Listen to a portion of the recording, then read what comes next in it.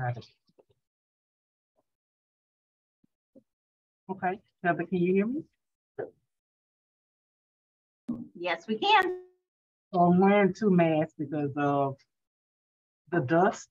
Whatever dust is in here, I can, it's coming through the mask and making me cough. So I'm gonna have two masks on. So I hope everybody can understand what I'm saying. You're gonna probably have to speak up because I don't know that they can.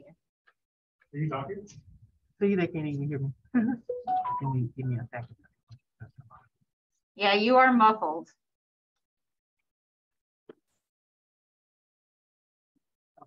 So I guess I should take off my mask. Or just speak up. Okay. Can you guys hear me now? Yes. But yeah. Barely? Can you hear me now? Okay. So I'm hoping that uh I don't have a coughing spell. I can literally feel the dust enter the back of my throat. So I, I have two masks. So if I pause and step out to cough, that's because I can feel that dust in the back of my throat. Okay. So I apologize in advance. All right. So uh, let's see, I can share my screen.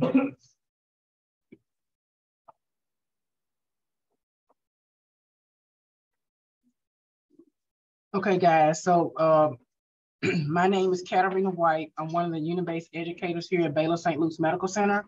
I cover, uh, You can't hear in the back. you can't hear in the back? Okay. Well, I'm gonna really have to talk loud.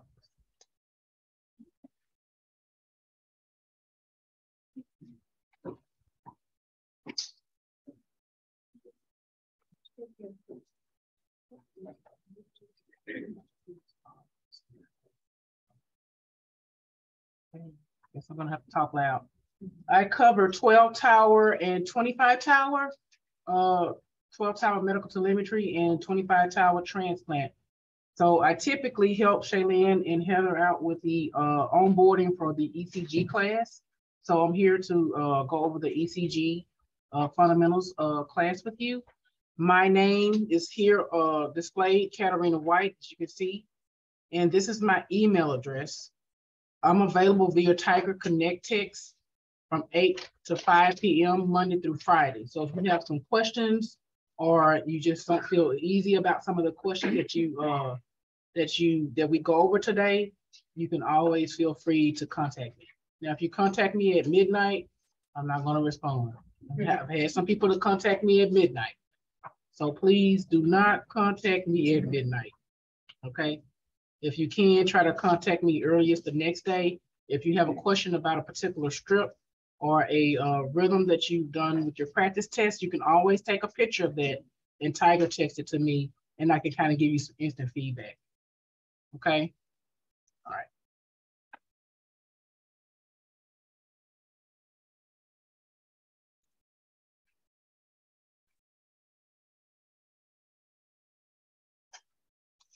So I'm just gonna pull up uh, one of the, uh, Uh, some of the things that we're gonna talk about today. Just give me a second.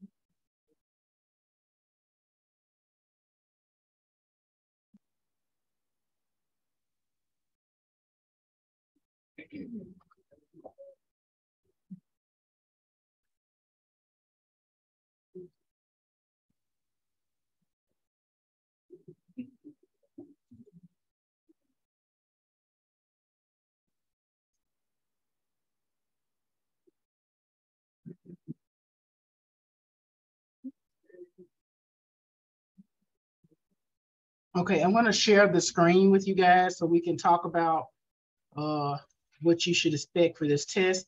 I believe Shaylin and Heather uh, provided you with a copy of this so that you will be able to look at it and uh, kind of get an idea how you should prepare. So uh, they used to call this exam prophecy, but it's now called Relias. So this is just basically uh, what you should be focused on uh, as you prepare for the test. Um, first order of business, there are no premature junctional contractions on this test. So if you see that in your answer choice, yes, ma'am. You can barely hear me.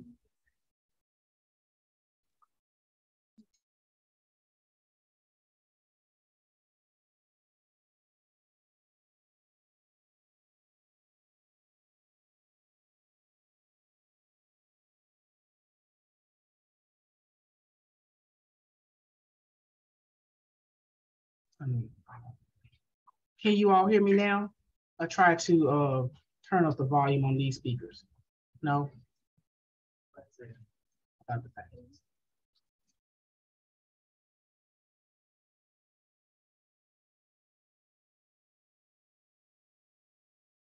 So I think what I'm gonna do is I'm just gonna uh, not be on camera, but I'm gonna stand up in front of the class so that I can speak.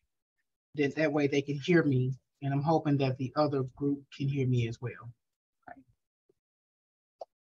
All right, so I'm gonna try to stand up and discuss this with you guys. And I hope this uh, helps. Can you hear me now that I'm standing? Yeah. Okay. Okay. Just, um, can you go next door and hear see if you can hear me as I speak.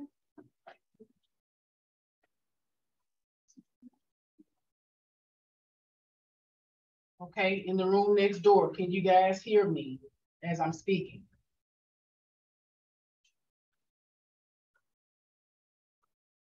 They can hear you. Okay, great. Okay. All right, so let me go over this study, um, this study focus. There are no premature junctional contractions on the test. If you see premature junctional contraction in your answer choice, do not choose that. There are no sinus arrhythmias on this test. If you see that in your answer choice, do not choose that. There's a 60 page study packet, and I'm going to kind of briefly go through that with you guys in a second, just to show you exactly how you should be studying on those specific pages. Okay. Uh, you'll be tested on the main categories, which will be four. They'll test you over heart rate, PR interval, QRS duration, and rhythm interpretation. There are two different versions of this test. The first version that you will receive will be version A. Version A uh, consists of 57 minutes, 57 questions. 83% is passing for version A you can only miss nine questions. Nine questions. Okay. Version B, which is the quarter of the exams, 52 minutes, 52 questions, 81% is passing, and you can only miss nine questions for version B. Okay. So that's essentially one minute per question. There are no calipers on the test use the zoom in feature that is built into the, the exam. You can zoom in and look at your PR intervals and your QRS durations. Uh, also, you can use your computer calculator or your calculator that's provided to you by your exam proctor. But most of you guys are probably uh, will probably be testing uh, via Zoom. I'm not sure if you're going to be testing it in, in person. So just be careful with your phone uh, in the past, we had some individuals that were using their phone to reach out and phone a friend for information. Okay, so uh, if you're caught cheating, you know, we take that pretty seriously. Okay, so be careful with that. So if you do have a calculator that you can, can have at your disposal when you're getting ready to take a test, that's probably the best thing to do. Okay. Any questions about this before we move on to the next topic? Yes, ma'am. So we'll either get version A or version B. Your first attempt is always going to be version A. Your second attempt will always be version B. If you hit the third attempt, you'll, you'll flip back to version A. And then there are no fourth attempts. Okay. If they discuss with you guys about the policy. Mm-hmm. Okay. Uh, so you get three attempts to take the exam. So that's why I kind of get, uh, gave you guys my contact information. So, uh, if you, if you have questions while you're studying, or you just don't, don't feel right about something, type or text me. Uh, please download the app so that I can, uh, be able to communicate with you, uh, quickly about, uh, any questions that you may have regarding the, the, uh, any particular stuff. Okay, all right, so I'm going to move on to the next, um, next page.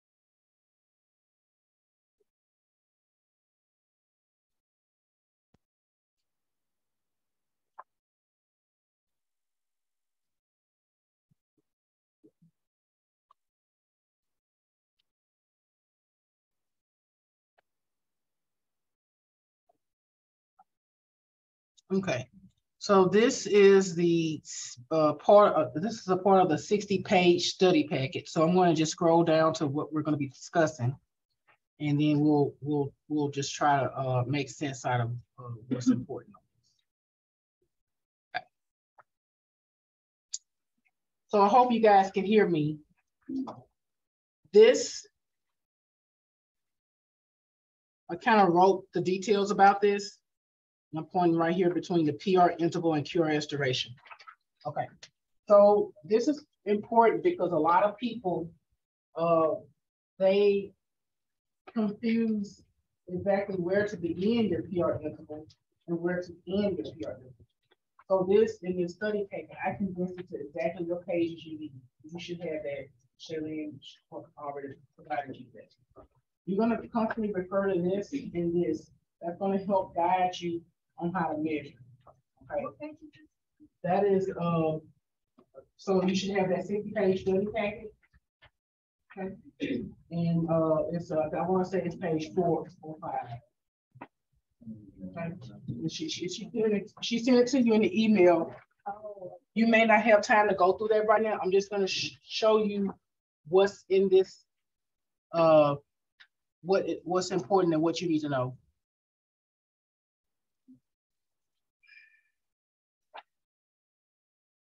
Okay, on this one, this one is important because a lot of people uh kind of forget the uh, small box. Uh, small box is 0.04, and this is just a refresher. We're gonna go through the whole entire PowerPoint uh, that's called Fundamentals of uh, ECG. We're gonna go through that. but first, I want to just kind of give you an idea of this study packet. Then we have here 0.20, which is a large, large squares that are defined by dark lines and are five small squares high by five, five small squares long. Okay. All right. So next, we're going to get right into talking about uh, what's going to be on the test. Okay. So you see this page. There's one question. That is that strip is on the test. And what I have written and read is the answer. The answer is normal sinus rhythm. So I do receive a lot of people that come to me for remediation that miss everything that's in this packet. And I ask, did you study? After I've done this class. I studied. This is extra is on the test.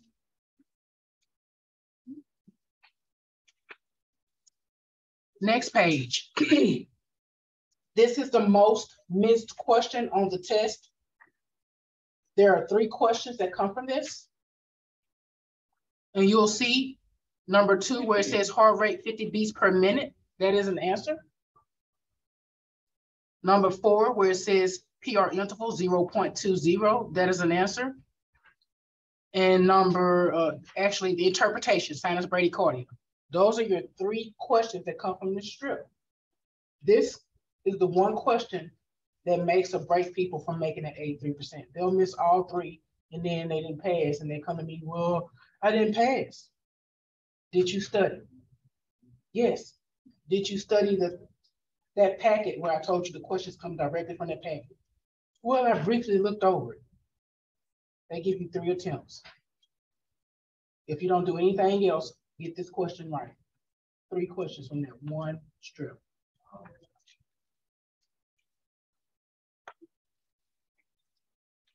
Here we have sinus tachycardia.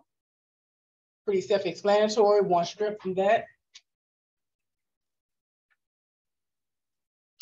Sinus arrhythmia is not on the test. Here we have normal sinus rhythm with PACs, one question that's gonna be on the test.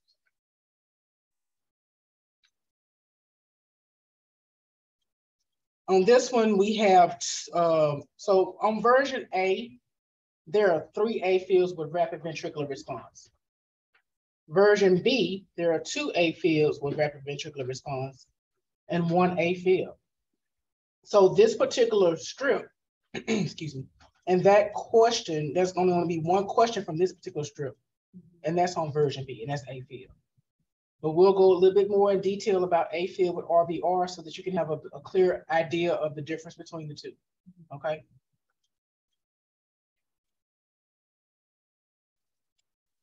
Here, there's one question, atrial flutter.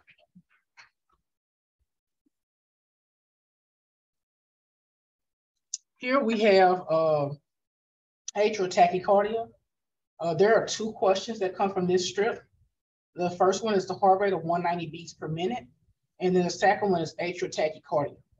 And just a, a little tip, uh, they did change some of the terminology on this test. Uh, instead of them calling it atrial tachycardia or SVT, what we typically hear, uh, they threw in a name that I have never heard of. I had to do a Google search to find it. Atrial ventricular nodal reentry tachycardia. so if you don't remember anything else, remember that. That was one of the terms that was used uh, by the person who invented the 12 lead ECG and the, the five lead telemetry.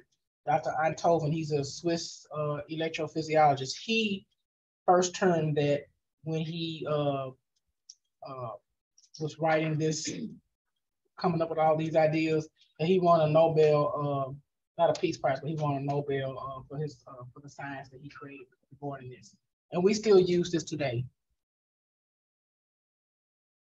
So here we have two questions that come from this: heart rate 52 beats per minute and junctional rhythm. Okay. Not on the test. Here we have one question that comes from this, accelerated junctional rhythm.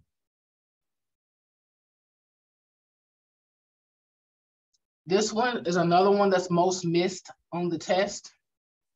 This is junctional tachycardia. A lot of people think that is a T wave, you know, P wave, but that's actually a T wave. And this is no P wave. So if you don't do anything else, if you can remember that that is junctional tachycardia. A good uh, thing that may be helpful for you guys is to maybe purchase some uh, flashcards. I know you're going to be taking your test pretty quickly. You can print this out and start making some flashcards and start testing yourself so you can be prepared for your test.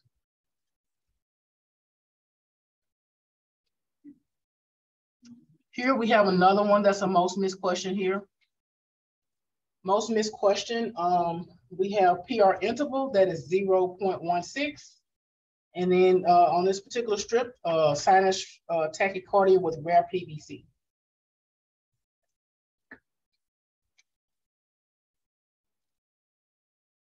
Here we have one question for this one, uh, ventricular tachycardia.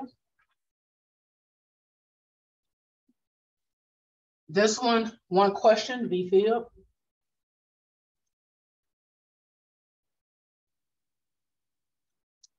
One question, idioventricular rhythm.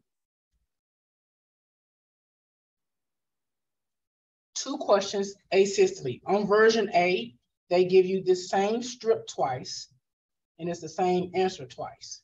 So if you don't do anything else, answer that the same way twice. Some people, like myself, I answered asystole, and I thought to myself, there's no way they would give this to me twice. So I chose VFib. And I got it wrong. 'Cause I was like, they wouldn't do that. They did. So you had two opportunities to get this one right, okay? Okay, all right. Okay, here we are. Uh, this particular strip, normal sinus rhythm with first degree heart block, so you'll see that.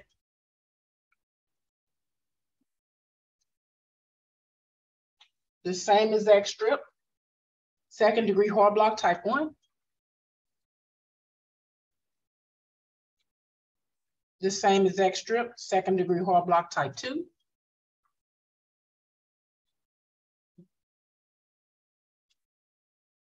Third degree block. And let's talk about this. Everybody misses this on the test. These are the same exact strips that's on the test. And no one ever gets them. So many people come to me and it was like, well, I just didn't understand. The easiest way that I can explain this to you is this. You see that line right there, that first line? It's right before a P wave. So anytime you see a spike right before a P wave, I want you to think P equals atrial, okay? Then you see that second spike, you barely can see it, but it's coming right before your QRS. If you have a spike right before your QRS, I want you to think ventricle. There are two spikes in this. This is atrial ventricular pacing. Just keep it simple. You just need to pass the test. They're not asking you if it's failure to, to, to, uh, ini- yeah, you're not worried about all that initiation with a pacemaker, if it's failing and all that stuff. Simply AV paced. So when you see it on the test, and I want you to remember, Katarina told me if I see two spikes, that's AV paced. Keep it simple. So here we have our next um, strip. This particular strip is, uh, you see that there's no P wave. Here we have a spike, one spike, and it's right before your QRS. So this is your QRS, and that's a T wave. So this is simply ventricular pacing. So if you see one spike, choose ventricular pacing. Okay, any questions about the uh, ventricular pacing, AV pace? It's pretty self-explanatory. All right.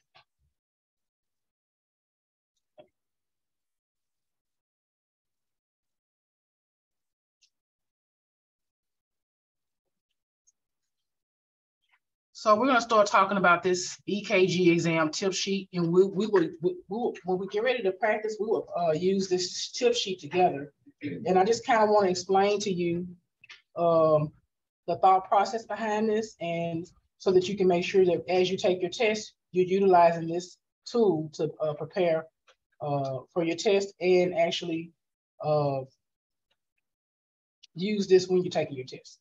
When you prepare to take your test, you can have two scratch sheets of paper. One of your scratch sheets of paper will be for you to uh, write down all these tips from memory. From memory. Now, if you go in there, and you take that tip sheet to the test with you, that's cheating. But if you write it down from memory, that's not cheating. Your second scratch sheet of paper will be for you to use that to, uh, with your measurements. You're gonna be measuring your PR intervals, your QRS durations, and all that good stuff. So that's why you're gonna need those two scratch sheets of paper. Now let's talk about uh, the first, second, the two of the seconds and the third degree heart block. With our first degree heart block, I just kind of keep kept it simple so that you'll be able to determine and decipher between the rest. First degree heart block is the only block that does not have any drop QRS. You'll see that it has a prolonged PR interval that's greater than 0.20. And it's pretty consistent. So that means that when you're measuring your PR interval, if you have seven boxes, each box should have seven boxes. And there's no drop QRS. It's pretty simple. Second degree heart block type one, your PRI lengthens and is not consistent. And you have dropped QRSs. Second degree heart block type two, the PRI is consistent and does not lengthen and you have dropped QRSs. Uh, with third degree heart block, that's a medical emergency. What I can tell you about that is there is no relationship between your uh, Ps and QRSs. And what you'll see that there's drop, there's a drop QRS. And what I've noticed on this test, that all of the third degree Hoyle blocks, pretty much the heart rate was uh, less than 50 beats per minute. People were in, caught between second degree Hoyle block type one and third degree Hoyle block. So if you ever get into that situation and you see that the heart rate is less than 50, I want you to go ahead and choose third degree Hoyle block. Okay. Any questions about the block so far, but we're gonna practice and get you comfortable with it. So the next one uh, on here is sinus tachycardia. So sinus tachycardia, your heart rate is usually between 100 to 150. You'll have an R to R interval that's regular. And as you see, the next one we have supraventricular tachycardia, also known as atrial tachycardia, also known as atrioventricular nodal reentry tachycardia. The heart rate is between 150 to 350. You have an R to R interval that's regular, but let me tell you how to decipher between the two. If you have a heart rate that's 150, you're gonna go with sinus tach. In the, in the event that that heart rate gets 151 and above, then you're gonna go with supraventricular tachycardia. Now this criteria and this, the range comes directly from all, I've looked in all the textbooks. I looked at the 60 page study package. That's the range that they give you. So I didn't make this up, but the, the minute that heart rate gets at 151, then it's a possibility that that could be uh, considered SVT. Okay, so on your next one, you have a AFib with RVR, which is also known as a rapid ventricular response. And I kind of put a little asterisk mark and made that font a little bit bigger. You see the R to R interval is irregular with this one. Uh, AFib with uh, it's going to be a ventricular rate of more than 100 to 180 beats per minute. In the study packet that they gave you with prophecy, they didn't even touch on AFib with RVR, but version A has three AFib with RVRs on the test. So I looked at uh, all the literature, and 100 to 180 is pretty much what the, the range that they go by. So what that means, if it's AFib, if the heart rate is 100 on the dot, that's AFib. The minute it goes above 101 and above, that's AFib with RVR. Any qu questions about the AFib with RVR? We'll do more practice to kind of get you comfortable with it. So uh, lastly, we have the two most confused rhythms of all, junctional rhythm category and idioventricular rhythm category. A lot of people get those mixed up. So with junctional rhythm, you have R to R interval that's regular. Idioventricular, the R to R interval is regular. So, uh, but the key points to remember here, with junctional, you have uh, a, you may not have a P wave or it could be inverted. And the QRS is usually uh, 0.12 or less. On the test, all the junctional rhythms that I saw on the test, they were just pretty much absent P waves. I didn't see any inverted, so that'll help you out a lot as you go through testing. With the idioventricular rhythms, uh, you'll see that there is no P wave and the QRS is more than 0.12. So once you have decided what the QRS look, whether it's 0.12 or above or less than 0.12, then you can make a decision to be in the right category. So let's go back to junctional rhythm. So you'll see with junctional rhythm, you have a heart rate of 40 to 60 beats per minute. If the heart rate is 60 on the dot, that's junctional rhythm. When it goes to 61 and above, then you accelerated junctional. Okay. So accelerated junctional, if you have a heart rate that that is 100, that's accelerated junctional. The minute it goes above 101, then you're into the junctional tachycardia category. So I want you to remember on the test, I think it's a couple of the accelerated junctionals, the heart rate is 100 on the dot. And you have answer choices that say accelerated junctional or junctional tach. Everybody's choosing junctional tach. So just remember, heart rate 100 on the dot, that's accelerated, uh, accelerated uh, junctional. With junctional tach, you have a heart rate of 100 to 150 beats per minute. So the minute it's above 101, then you can say that's in the junctional tachycardia category. So I want you guys to put a little star by these four uh, rhythms. Put a star by sinus tachycardia. Well, you can't put a star, but make a mental note. Uh, sinus tachycardia, uh, SVT, AFib with RVR, and junctional tach. So going back looking at sinus tach, look at the heart rate, 100 to 150. Look at the heart rate for junctional tachycardia, 100 to 150. The difference between Sinus tech and junctional tech comes down to a P wave. That's what it comes down to, a P wave. And that's what gets a lot of people. So if you don't see a P wave, it's most likely junctional tachycardia. But if you see a P wave, that's sinus tach. Okay. Um, with the SVT, you have a heart rate of 150 to 350.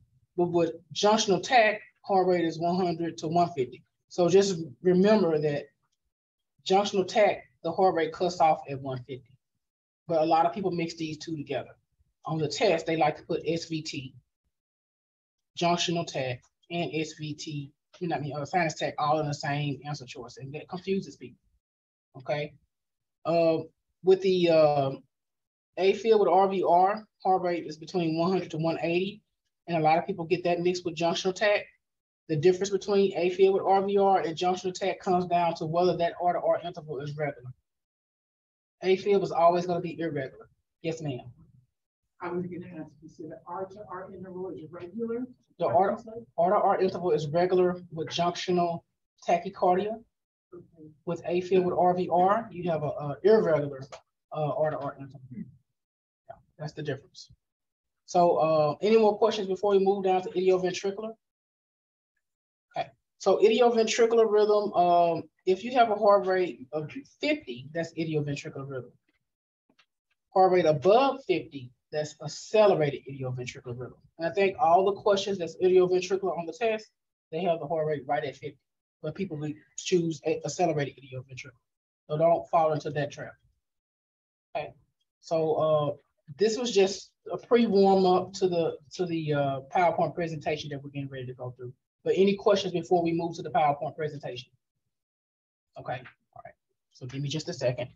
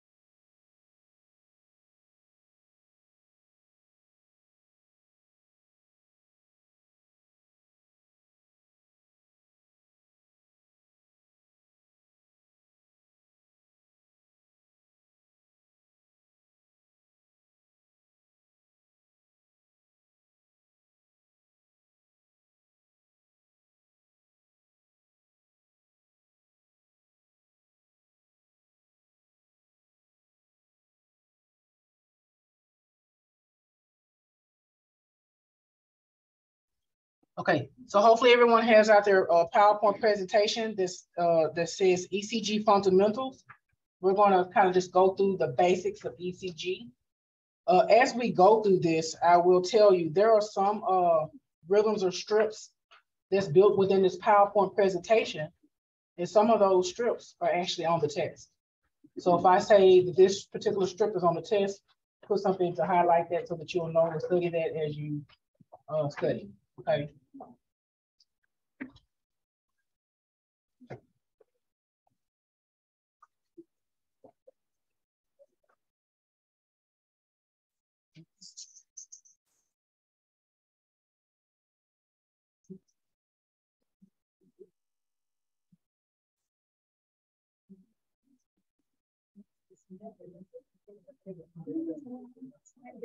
Give me just a second. I'm not used to teaching like this, so just bear with me.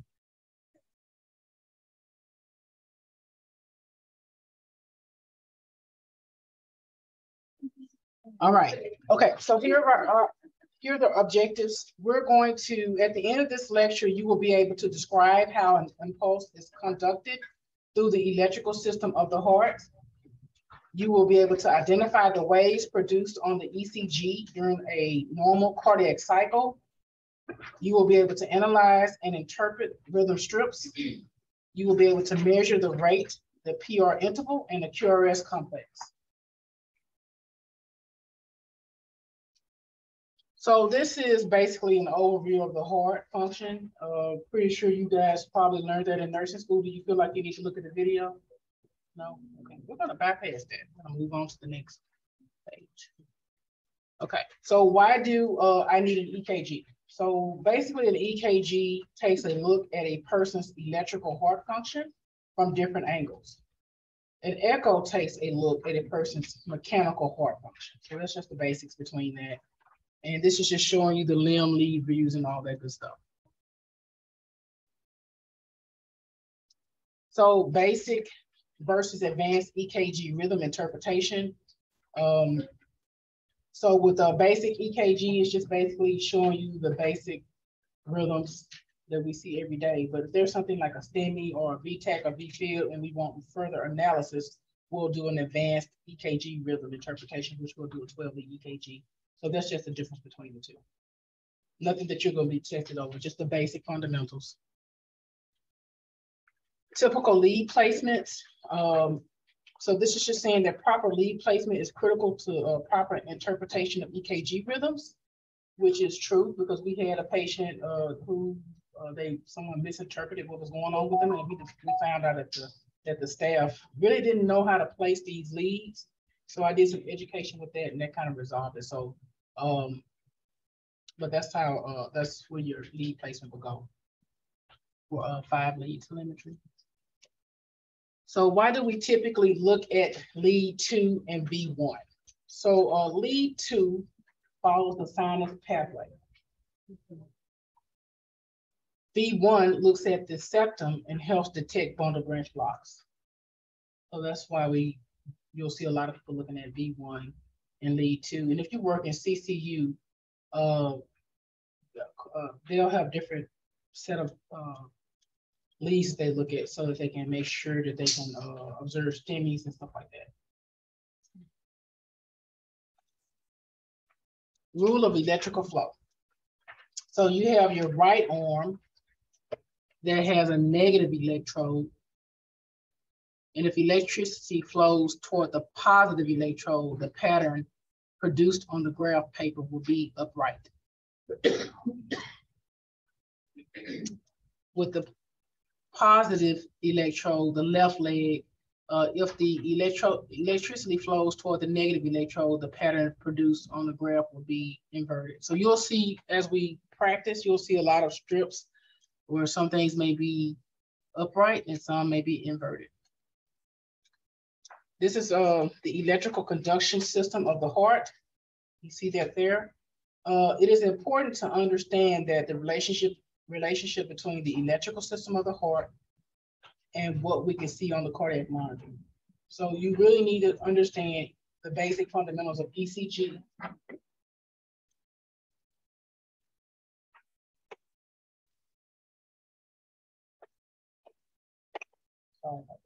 You really need to make sure you understand the basic fundamentals of ECG uh, as you're on the unit trying to uh, interpret your strips, whether or not to call a doctor, uh, if you need to get a 12 lead ECG. So you need to have some basic understanding of all that.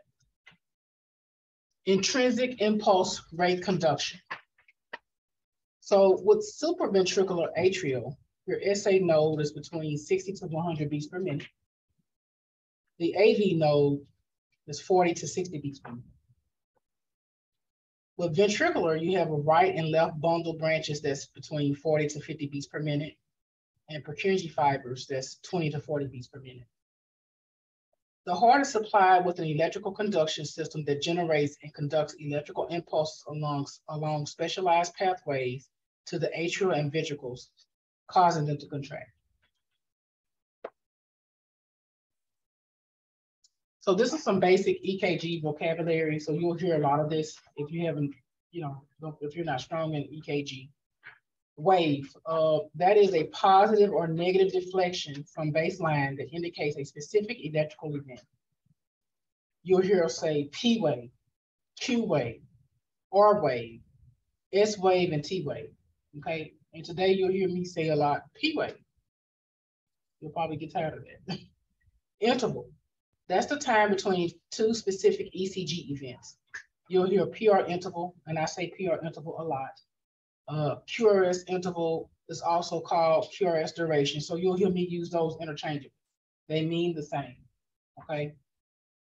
Uh, QT interval and, and R-to-R interval. So you won't hear me say anything about QT interval, but you will hear me talk a lot about R-to-R interval, okay?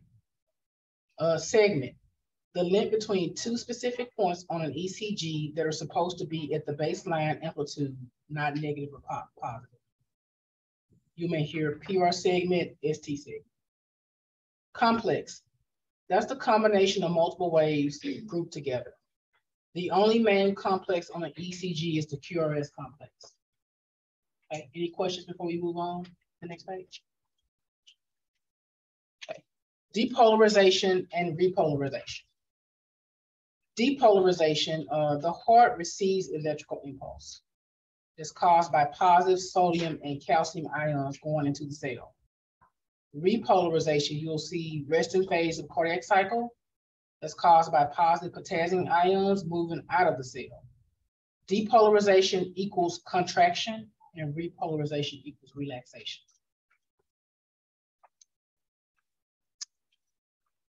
Sinoatrial node also known as the SA node. The sinoatrial node is referred to as the pacemaker of the heart. The SA node is located in the wall of the right atrium at the junction with the superior vena cava. Specialized electrical cells called pacemaker cells in the SA node discharge impulses at a rate of 60 to 100 beats per minute. So here we have P waves. Uh, impulses that begin at the SA node are demonstrated on the ECG as the P wave. A P wave equals atrial depolarization and contraction.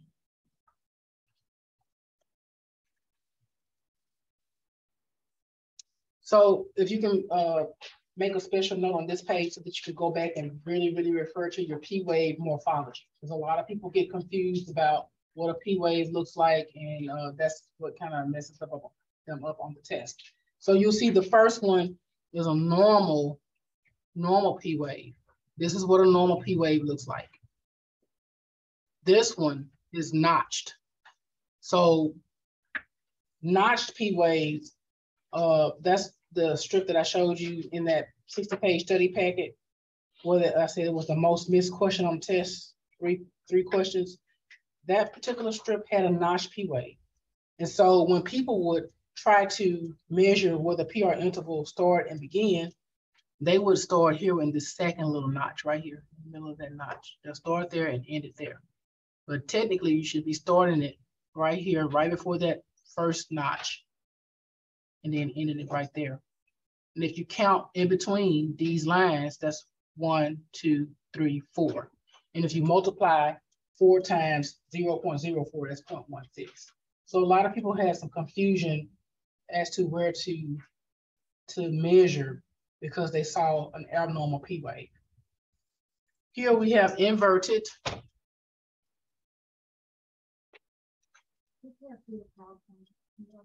You can't, oh.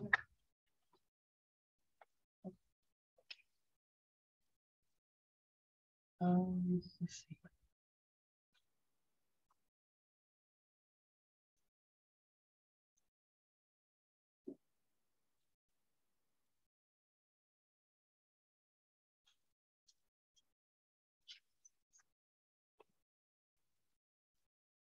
All right, sorry about that, guys. I didn't realize I wasn't sharing. Sorry.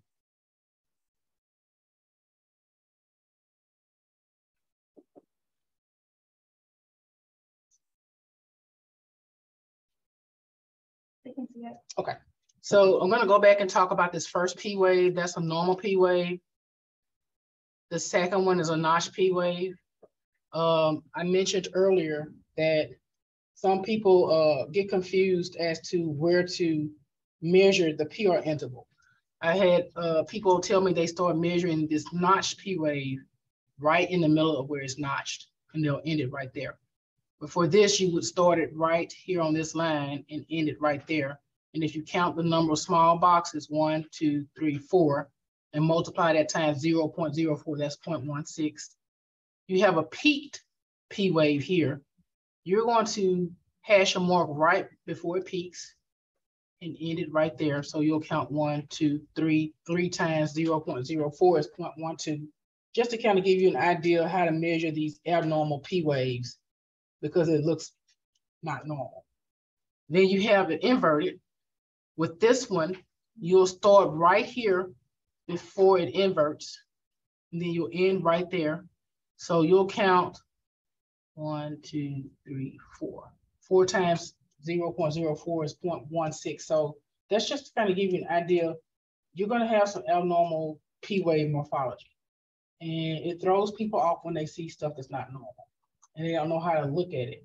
You have a guide that shows you how to measure your PR interval, but that guide doesn't show you how to measure things when the morphology changes. Okay, so this is just kind of give you an idea of how you should measure if you see inverted, peaked or notched P waves. Any, any questions? Yes, ma'am. What were the last one again? How to measure that one? Okay, so on the last one here, inverted, you'll see here, so I would come here and hash a mark right there on that line, right before it inverts. And then I'll put a line right there. In between that, I'm gonna count my boxes. One, two, three, four. And four times 0.04 is 0.16. So that's how I would measure that because that's an inverted P wave. It looks different from my normal P wave. I'm used to measuring normal, but when, the- when the P wave morphology changes, you know, a lot of people kind of get, you know, anxiety about that and they don't know where to measure. But we'll try to practice today, and give you a lot of feedback today. All right, atrioventricular AV node. So um, the AV node is located in the wall of the right atrium next to the tricuspid valve. It has three functions. You'll see slow conduction of electrical impulse through the AV node. It serves as a backup pacemaker if the SA node fails. It protects the ventricles from dangerously fast rates. Intrinsic rate, rate is uh, 40 to 60 beats per minute. So PR interval. So your PR interval uh, represents the time for the impulse to travel from the SA node to the AV node. The AV node is the gatekeeper. So you'll see your PR segment here. So the beginning of the P, beginning of the P wave to the uh, beginning of the QRS complex uh, is what you'll call your PR interval. But the normal range is 0.12 to 0.20. If you don't do anything else, put a little extra more about that, engrave that in your brain. To know that normal PR interval is 0.1, 0.12 to 0.20. Anything greater than 0.20, we're headed into block territory, okay? Uh, a lot of people think that 0.20 on the dot is when you would start saying, hey, that's a block. Nope, it's greater than 0.20. So just remember that. QRS complex. So we have our QRS complex. It's a QRS equals VR, uh, ventricular depolarization and contraction. The initial deflection of the QRS from the isoelectric line to the end of the QRS complex is measured from the beginning of the Q uh, wave to the end of the S wave, the J. And normally uh, has a duration of 0.04 to 0.12. So remember that 0.04 to 0.12, that's normal. If you start seeing anything greater than 0.12, you're going into different particular rhythms. And they'll test you on this test over bundle branch block, uh, but bundle branch, uh, uh, there's a certain criteria that I don't want to confuse you, but you could be into that territory. And we also use the QRS complex to look at, um, to try to decipher between junctional rhythms and idioventricular rhythms. So it's, it's uh, important to note that anything uh, 0.12 or less, that will be in junctional category. Anything greater than 0.12, that'll be in um, that'll be in your uh, idioventricular category, so that you can start to prepare as you study. Okay, ventricular conduction. Um, you see the bundle of His, the right and left bundle branches, the Purkinje fibers. I'm not going to go into all of that. That's anatomy and physiology, but I'll just tell you the rate is 20 to 50 beats per minute. Okay, so remember we talked about this earlier, put it on paper. Um, this is most important because ECG paper is divided into large squares and, and small squares. So you'll see here you have one, two, three, four, five small squares, okay? So large squares are defined by dark lines and or five small squares high by five small squares long. So just please know that. 0.20, five boxes. Anything greater than five boxes, block territory. So just keep that in the back of your mind. And we talked about the small square is 0.04. Okay, so basics of EC, EKG paper, um, five large squares is one second. 15 large squares is three seconds. 30 large squares, six seconds. So whenever you're working on your unit, the monitor takes prints you out uh, a strip. Just remember that it's going to be a six second strip. That's what we use to do our uh, our, our daily ECG, uh, just kind of just um, interpreting those strips so that we can know what's going on with our patient. Uh, so hash marks occur every three seconds or 15 large squares. You'll see. Okay. Isoelectric line. So the isoelectric line of an E electrocardiogram designates the flat part of the diagram in between the P waves and T waves. It occurs when no electrical activity is occurring. Impulses are too weak to be detected and is used as a baseline to identify changing electrical movement. The beginning of the isoelectric line following um, the QRS complex is a visible, a visual cue of where the QRS measurements end.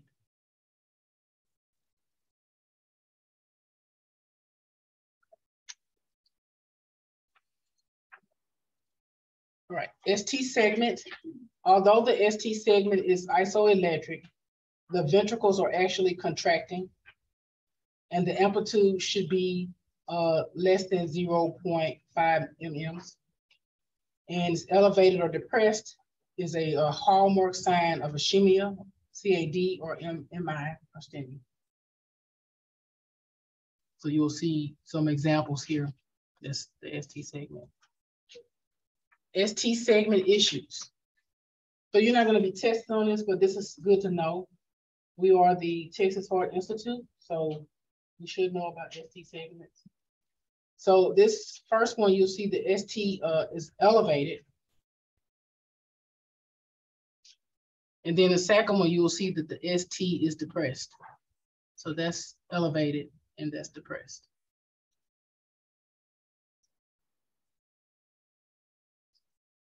QT interval.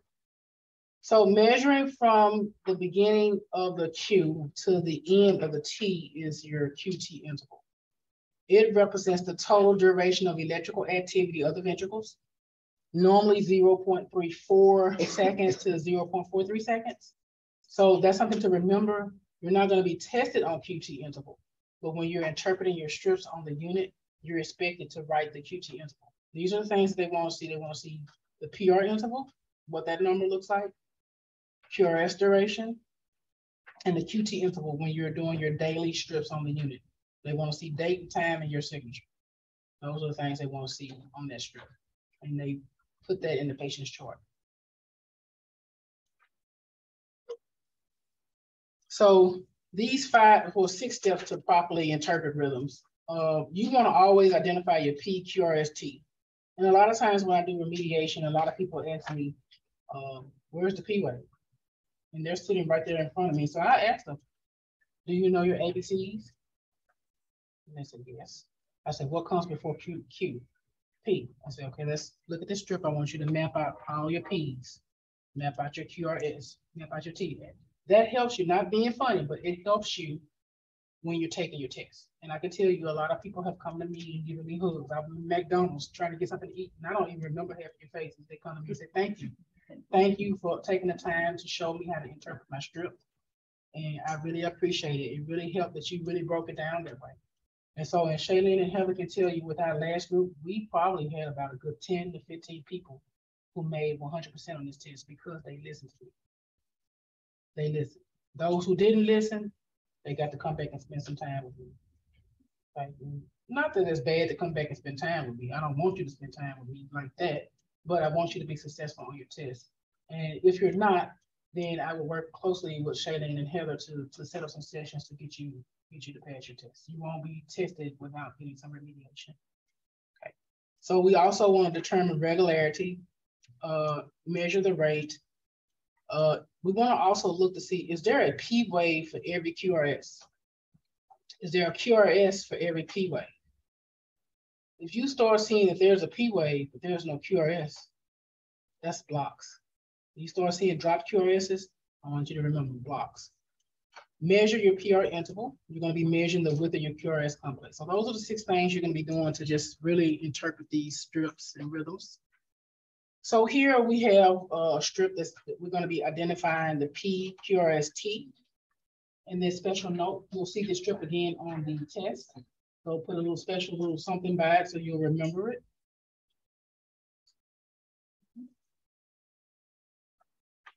So um, we'll be looking at the QRS. Let's see. So if that's your QRS, you'll see the arrow pointing to that. That's your QRS. That's your T wave. That's your P wave. Okay. So this one, the next one, of course, this same strip is in that packet. Also on the test, that's the one that was on page 12 in that 60 page study packet that I told you there's three portions that everybody always misses. This is what makes and breaks them. Well, that's that strip, which is going to be on the test. So you'll see QRS, that's your QRS. With this QRS, it has a negative deflection, which means it's pointing downward, okay? So if you hear me say negative deflection, it's pointing downward. There's your T wave. There's your P wave. And do you see that this P wave is notched? A lot of people got confused on how to measure and um, they were very, very just confused on what to do with this particular strip. Even myself, I missed the question on the test when I first took this test. And I was like, wow, this is the hardest test I've ever taken. And then I took the test like November 2017. Then a week later, I got into this role. Right? But I failed that first test. So I'm not perfect. So just so you know that I'm not perfect. I failed the test myself. I think I made a 72%. At the time, 75% was passing. that was in 2017. One day I came to work and I was getting a lot of TigerTexts. People were knocking on my door. I hadn't even made to work yet. They were waiting outside of my door. I failed my test. And I'm like, well, what did you make? 75. I had remediated them. And then they took the test like on that Monday And the company changed the scores. That made my job so hard. So, uh, I was like, wow. So I really had to do a lot of more uh, remediation and just kind of make sure people know the difference between the tests and that you understand how many you can miss and what the percentage point or basically the Angoff score that you need for your test. Okay, so on this one, there's your QRS. This strip is on the test.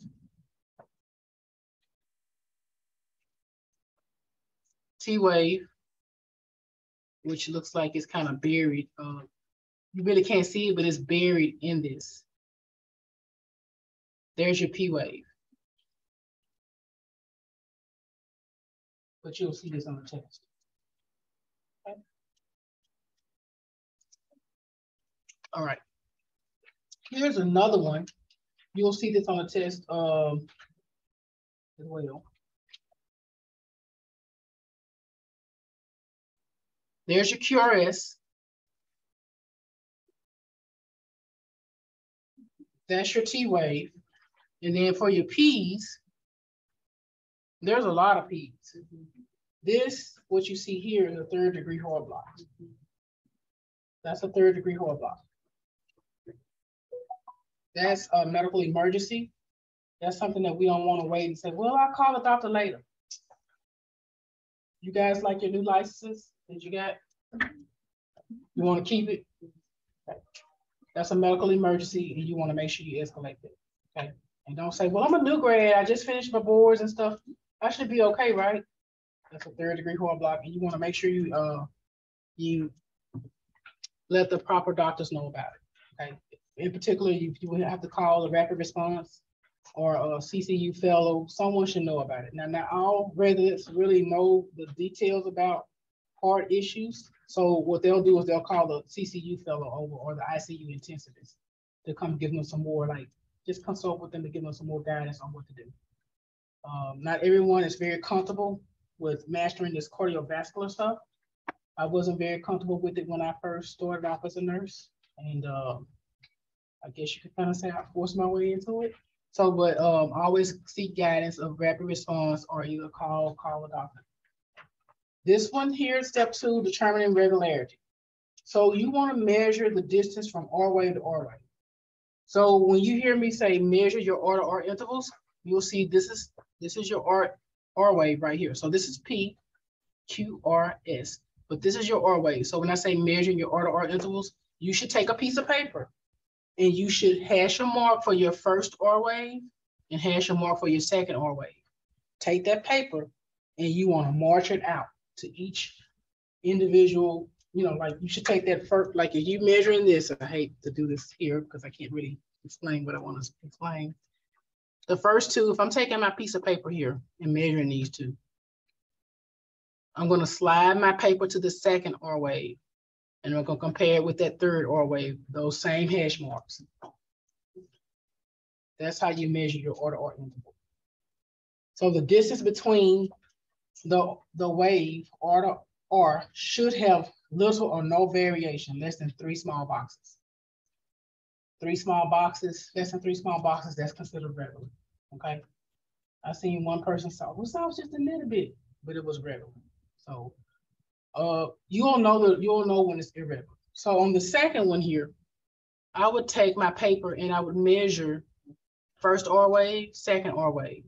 I would take my paper and march it to that second R wave and see if something should be coming up here. It's not. So that tells me, wow, that's irregular. That's how you can determine whether something is AFib, a field. AFib is irregular. A lot of people miss it because they don't take the time to measure the order on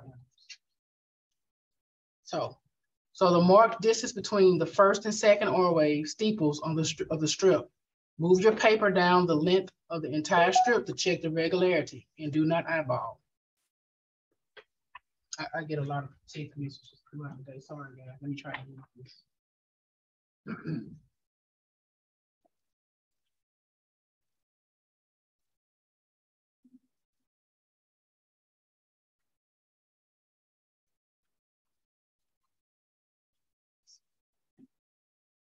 I've muted it, but sometimes if someone sends a priority TigerText, it goes through my mute.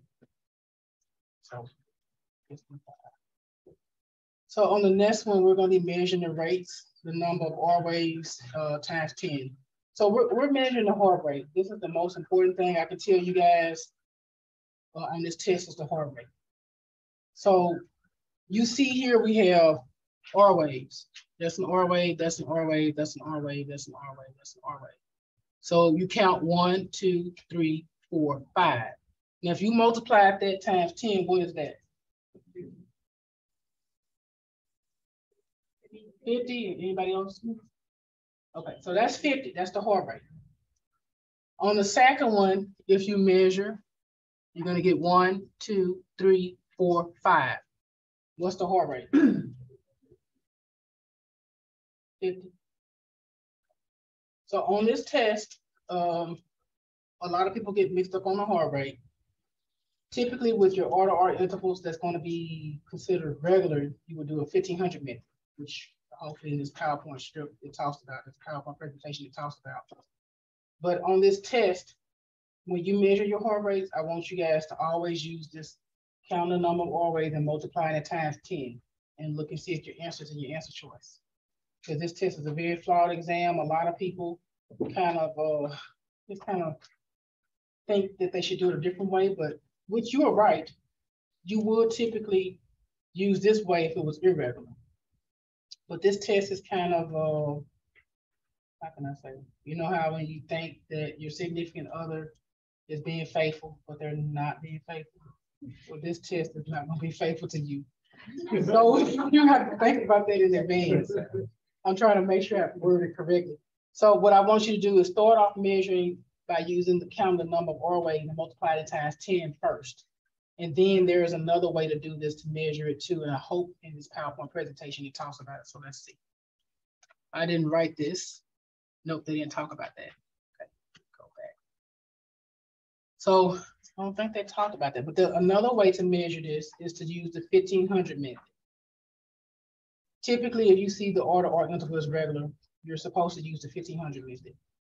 And the way you would do that is you would take an R wave so this R wave here, and take that R wave there. And I would count the number of small boxes in between this R wave. So I'll start here. I know that's five, that's 10, 15, 20, one, two, three, 23, 24. So can anyone, uh, did I count the first one? Let's start over. 5, 10, 15, 20, 25, 26, 27, 28, 29.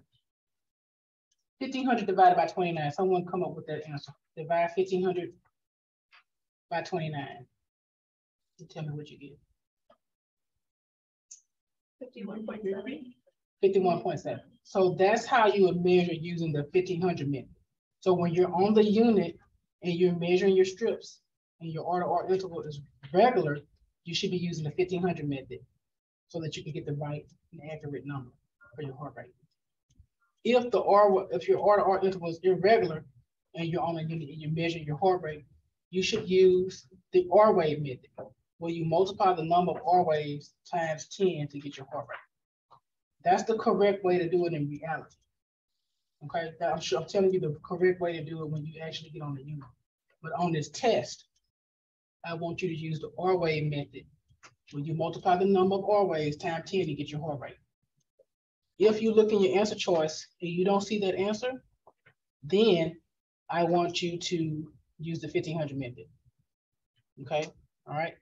But just a little FYI so that you guys can know you have a practice test and the exact strip that uses the 1500 method, you have the answer choice in the, in the practice test. And you have the second one that's located in your 60 page uh, study packet, which is 52. So you shouldn't miss it. So if you come to me for remediation, I'll know you didn't study.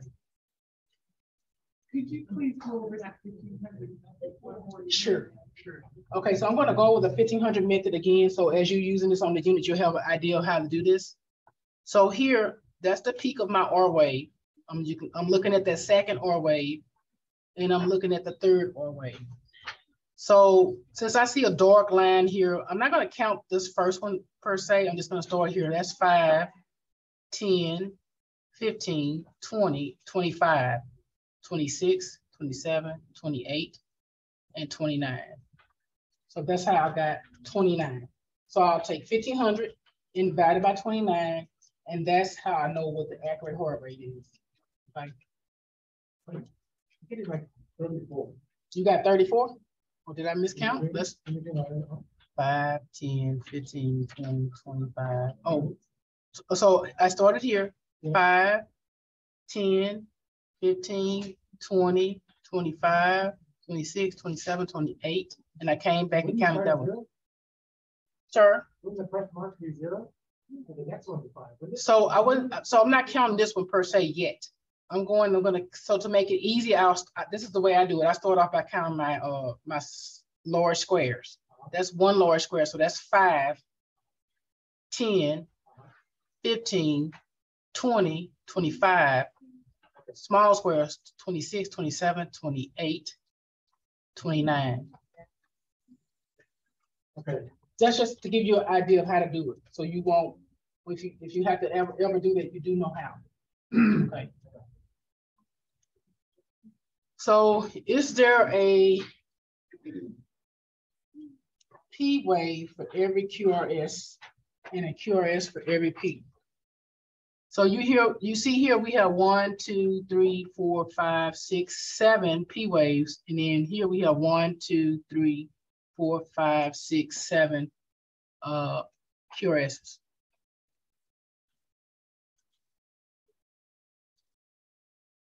So how many P waves do we have? We have seven. How many QRSs do we have? We have seven. So if you have an equal amount of each, that lets you know something's normal about it. We just need to do some further investigation, but it's pretty normal. We know it's not a block. Well, we know it's not a second degree type one or two or three. We would have to measure the PR interval just to double check to make sure it's not first degree. Are we missing anything? No. Okay. So on this one, we have um, our strip. I'm Gonna look at it. We have seven P waves. We have five QRSs. Are we missing anything?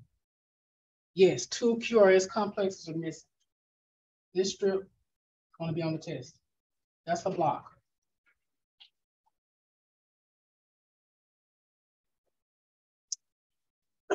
All right, What degree, um? So it'll confuse you as we go along. Uh, we'll, we'll, we'll have plenty of- to practice. If I did it now, it'll confuse everybody. Yeah. Measure the PR interval. So PR interval, uh, configuration, so we'll, what the, we wanna look at what the length, what length is the PR interval. So I just want you guys to remember that normal is 0.12, 2.0, sorry, 0.20 seconds. And this is equal to one big box or five small boxes, which we talked about. You'll hear me grill this in your head. Uh, does it remain the same throughout the strip? Fixed or variable?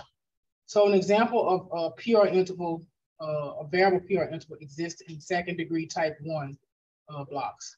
So let me kind of give you an idea of what PR interval is. When they say prolonged, if you see something that says prolonged, that means that you have counted that there's greater than five small, five, five small boxes, but it's consistent. That's what uh, prolonged PR interval means. If you see where it's variable, that means it's greater than 0.20, but each box is getting longer and longer, but it's greater, that's variable. You will be asked that on the test, so you'll have an idea of the difference between prolonged and variable. So, but you want to measure from the beginning of the P wave to the first deflection from baseline at the QRS complex. Uh, you want to measure your uh, PR interval. Let's see if I can. You want to measure the PR interval. So uh, when you're measuring your PR interval, You want to measure from the beginning of the P wave to the beginning of the QRS complex. So in between these lines is where you're going to get your, your, uh, what this should be. So you have a line right there before the P wave and then right here. So in between here is where you would um, count the number of small boxes and multiply that times 0.04. That's how you get PRM. Okay.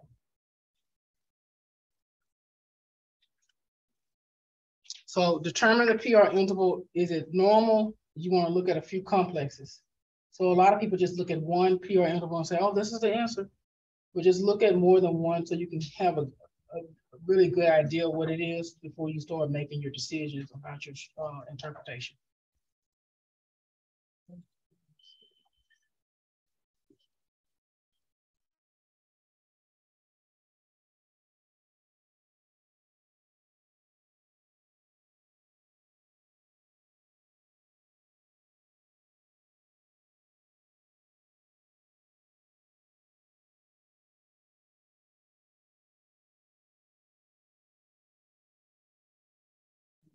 Okay, I had to mute it for a second. Give me a second.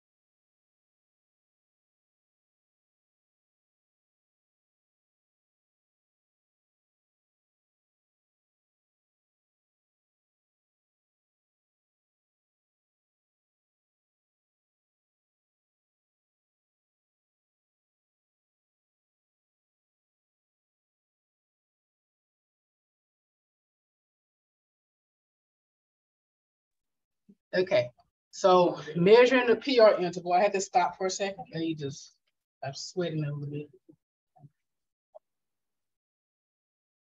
So you want to, um, when you're measuring the PR interval, you want to determine the PR interval. Is it normal? Look at a few complexes. Is it seven to eight boxes? Uh, or 0.28 to 0.32, prolonged or fixed. So on this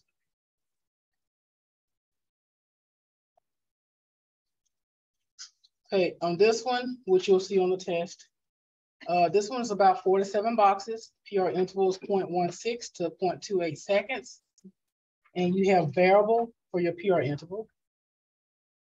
And you want to determine the PR interval, is it normal? And you want to look at a few complexes.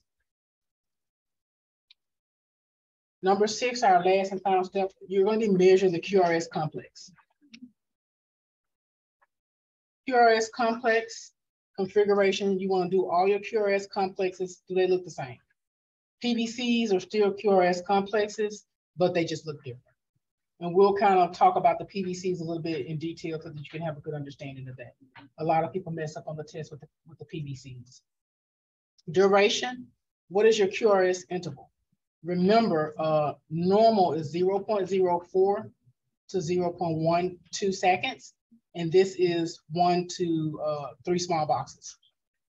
So you want to measure uh, from the beginning of the QRS complex all the way to the J point where the QRS uh, turns into the ST segment. Okay, so here we have a, a complex practice number one. So uh, remember, you're going to be measuring from the beginning of the QRS complex all the way to the J point where the QRS turns into the ST segment. So you're going to determine your QRS duration. So uh, you have two small boxes. So if I'm measuring from about right there to there, there's there, there should be one, two boxes. So that's 0 0.08 seconds.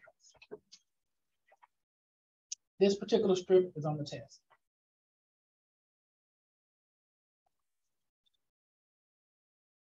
Is this normal? Yes. Here we have this one, another practice strip. You'll see this one on the test as well, okay?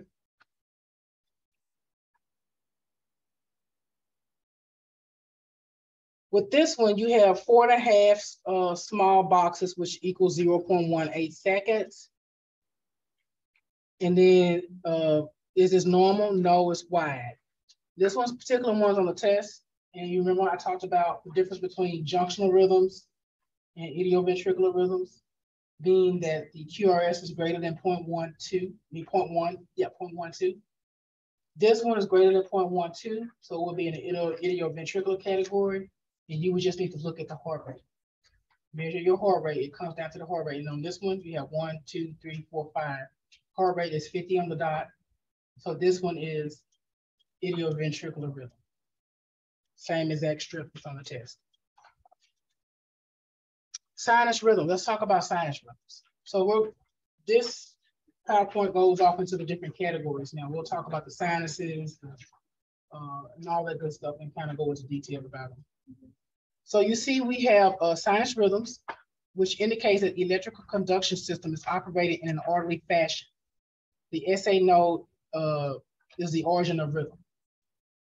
What makes a rhythm an arrhythmia?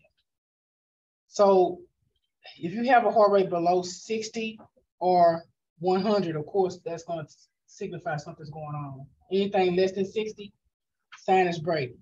Anything greater than 100 is sinus tach. So sinus rhythm is between 60 to 100. PR interval less than 0.12 or greater than 0.20. If you see anything less than point uh one two, you know that's in your that's probably within your junctional family. Anything greater than 0.20 is in great that would be in the block family. QRS interval 0, 0 0.004 uh, uh, greater than 0.12. So I'm, I think I just got confused, you guys. I just mixed up PR interval with the QRS. So um, PR, did I just mix y'all up? No? Just wanna make sure I'm on the right track. So I just wanna make sure I didn't misstate myself. PR intervals, you're looking at that when you're looking at uh, when you're looking at your block. So if it's greater than 0.20, that's that's indicates something's going on like a block. Uh, QRS less than 0.04 uh, or greater than 0.12. So if you see something that's greater than 0.12, you want to start looking at the idioventricular rhythms to see what's going on. Anything less than 0.12, you'll be looking at junctional rhythms.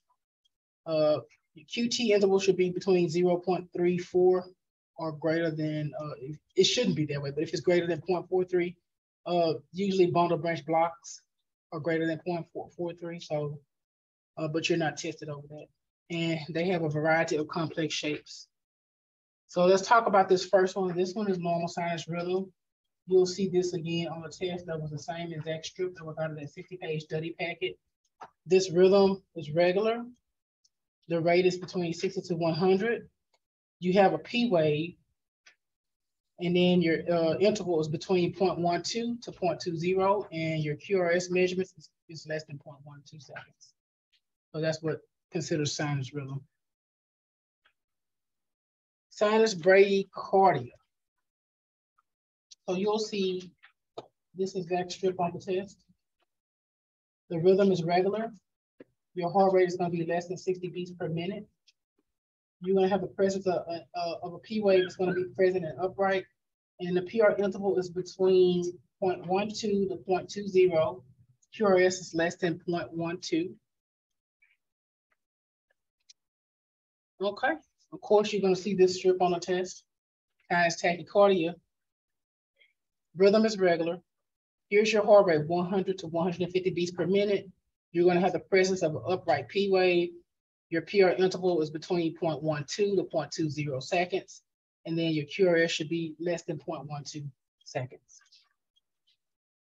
Atrial rhythms. So atrial rhythms uh, are things like AFib, atrial uh, tachycardia, AFlutter, uh, that, and PAC, that's in the atrial family. So atrial dysrhythmias reflect abnormal electrical impulse formation and conduction in the atria. Atrial kick allows ventricles to fill with about 20% more blood than would normally enter if the atrial did not contract efficiently. Gives you about 20 to 25% of cardiac output. Most atrial dysrhythmias are not life-threatening. Some are associated with extremely fast ventricular rates and excessively rapid heart rates may compromise cardiac output. So here we have AFib. This is just regular AFib. And if you guys uh, see that, can someone count the number of R waves and multiply times 10 and tell us what that heart rate looks like?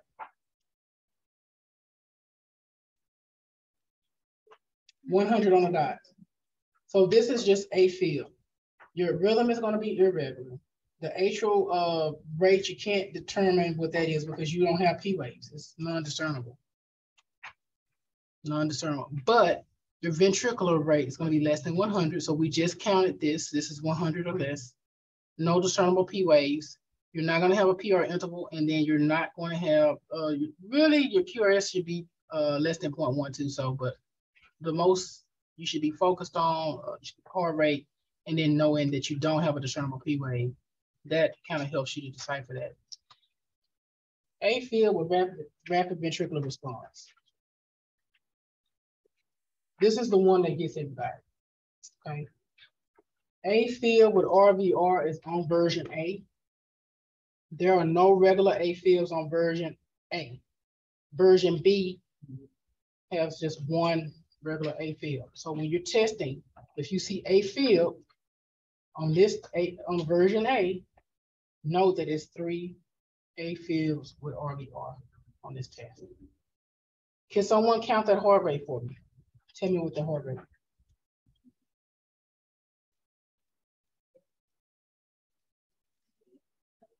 One seventy. Okay, so we have a heart rate of one seventy. And remember, we talked about with uh, AFib with RVR heart rate, one hundred to one eighty would be that category. This rhythm is irregular. The atrial rate is unable to be measured, but your ventricular rate is going to be greater than 100. Uh, it's going to be a non-discernible P wave. You're not going to be able to measure the PR interval and the QRS is less than 0.12. Okay. If the rate above 100, it is a atrial fib, A field with RVR, okay? Um, go back. I just want to go back and talk about this AFib with RVR, just to a reminder and write it on your paper. They're calling it atrioventricular nodal reentry on the test so that you can make a note of that in your mind, write it down. That's another name for that. Atrioventricular nodal reentry tachycardia. That's another name for A. Nope, I'm getting confused, guys. Don't write that down. Sorry. I just I, I just kind of gave you guys some uh, misinformation I'm thinking about atrial tachycardia, so don't write that down. Sorry about that. Don't write that down. My, my brain is getting uh, crossed. So, so please do not write that down. It's, this is just AFib with RVR. Sorry about that. Atrial flutter.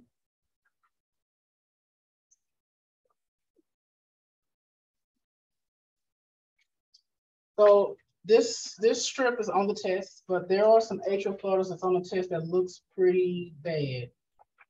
We do have one in the practice strip that we're gonna go over to get you comfortable with it. Um, AFib could be regular and irregular. And the strips that's on the test are a little bit confusing. So we do have a sample in the practice test that we'll talk about and get you ready for your test so you can be comfortable um, your rate is going to, for your atrial rate, it can be between 250 to 350. And uh, ventricle rates vary. Uh, you'll see a fluttered sawtooth appearance with your P waves.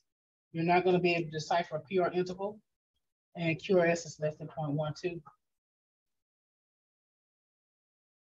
Okay, this is what I was talking about. I'm getting all my atrials mixed up. Remember, I was trying to tell you to write something down, but I, I see we put it in the PowerPoint presentation. Sorry about that. This is supraventricular tachycardia, also known as atrioventricular nodal reentry tachycardia. This is the one that changed the terminology and a lot of people didn't. Uh, all you know is SVT and atrial tach. No one knows atri atrioventricular nodal reentry tachycardia. But I want to say it's either, I want to say I remember two questions on version A Well, they had that in the answer choice and it was atrioventricular nodal reentry. But just make sure you're counting your heart rate, measuring your R to R interval to see, to make a final decision. So rhythm is going to be regular. Heart rate is one fifty to three hundred. On this one, they have one fifty to three hundred. From what I found in the textbooks, it can go all the way up to three fifty. The presence of the P wave may be hidden in the QRS or T wave, and is usually you cannot measure the PR interval. Uh, QRS is less than 0.12. This is a fast heart rate, greater than 150 beats per minute. It's regular, okay? Uh, it's so fast you can't see the P wave sometimes. The rhythm originates above the ventricles, making the QRS complex uh, less than 0.12 seconds. So a lot of people get SVT and VTAC mixed up. VTAC, you're gonna have a wide QRS. SVT, you're gonna have a small, narrow QRS. So that's the difference between that. But a lot of people get this mixed up. Now we're talking about junctional. Yes, ma'am. To.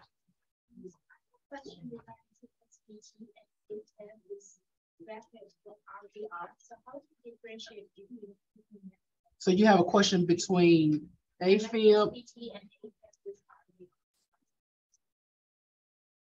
repeated eight.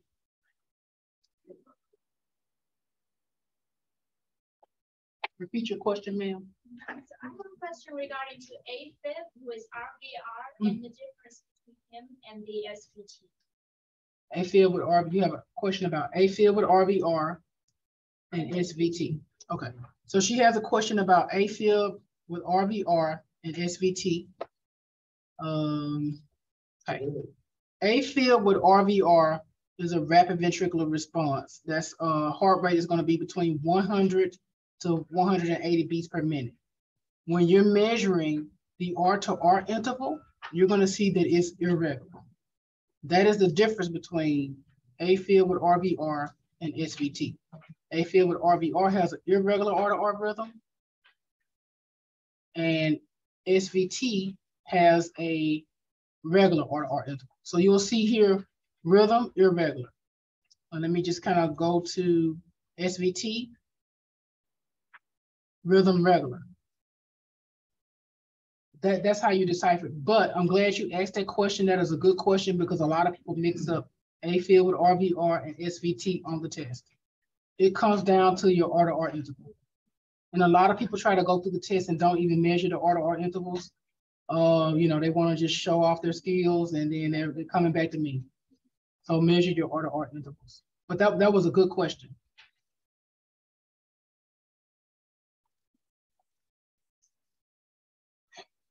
All right. So now we'll talk about our junctional rhythms.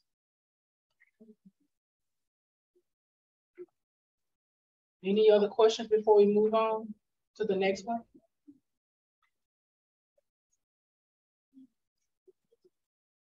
Okay.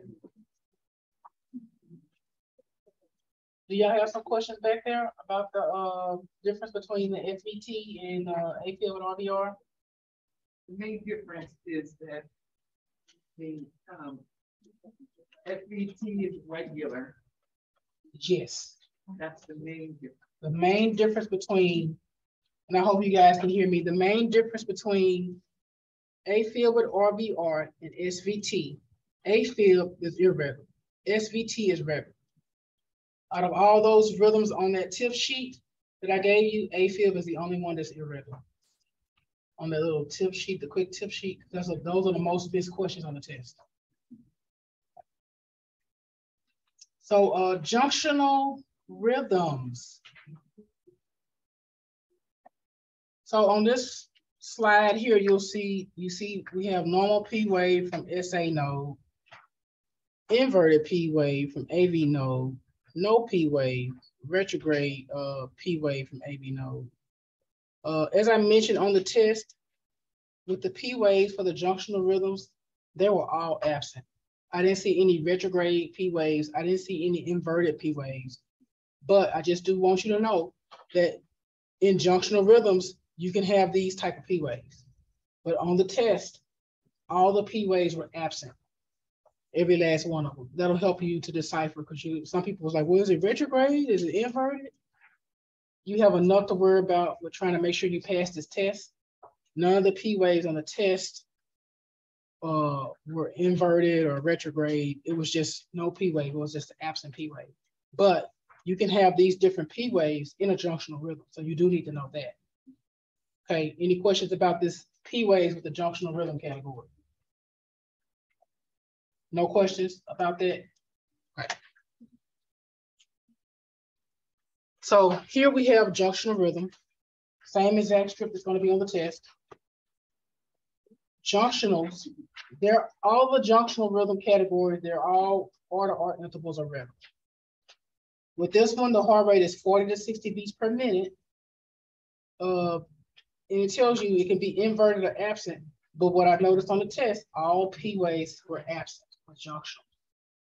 PR interval 0.12 if present, and the QRS less than 0.12. Regular rhythm, no P waves, could be inverted P waves or retrograde P waves in lead two. Uh, they originate above the ventricles, which means the QRS complex is narrow, 0.12 seconds or less. Accelerated junctional. So this particular strip, I don't think is on the test, but this is a good one just to kind of give you an idea of what it looks like. Regular rhythm, heart rate between 60 to 100. So if you see the heart rate 60 on the dot, that's not accelerated. It has to be 61 and above. Okay, this is just a range.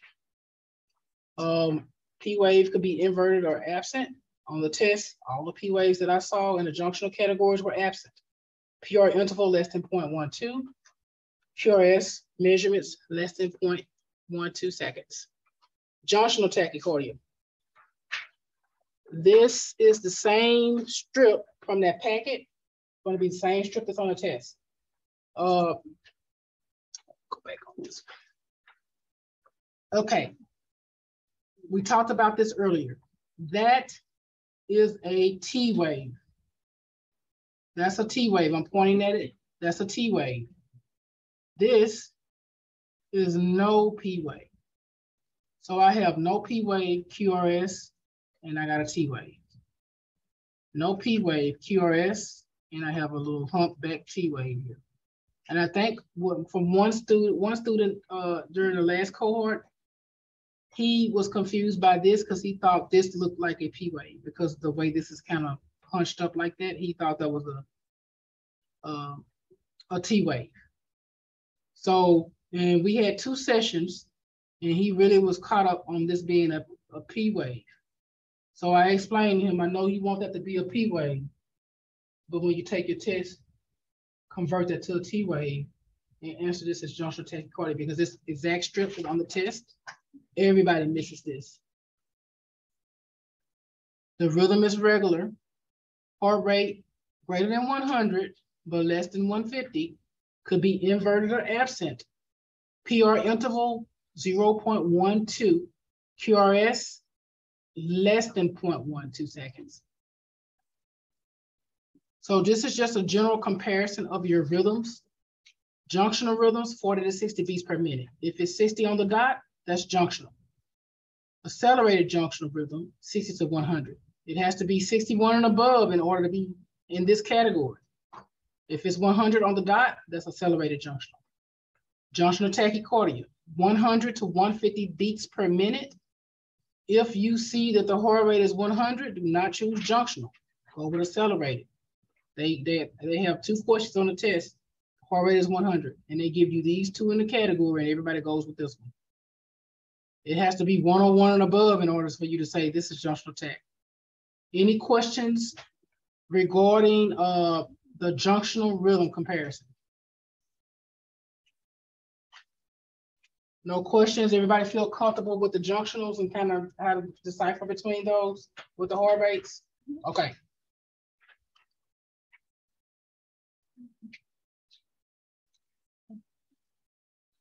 Ventricular rhythm.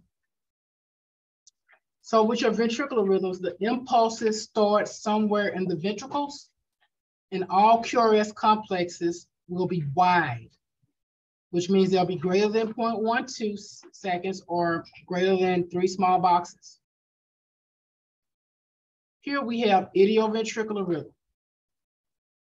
Idioventricular rhythms are lethal rhythms.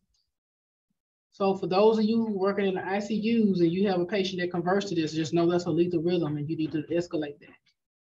This strip is on the test. I repeat, this strip is on the test. The rhythm is regular.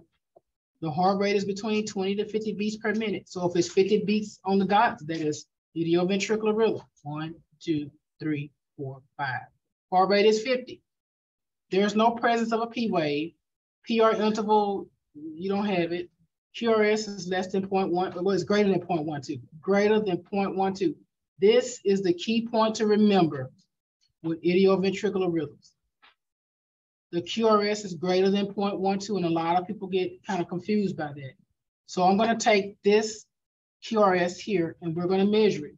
So I would put like a little hash mark right there and a hash mark right there. And I'm gonna count in between. That's one, two, three, four, five. Five times 0 0.04 is what? 0.20 seconds. If the QRS is greater than 0.12, that's automatically in the idioventricular family.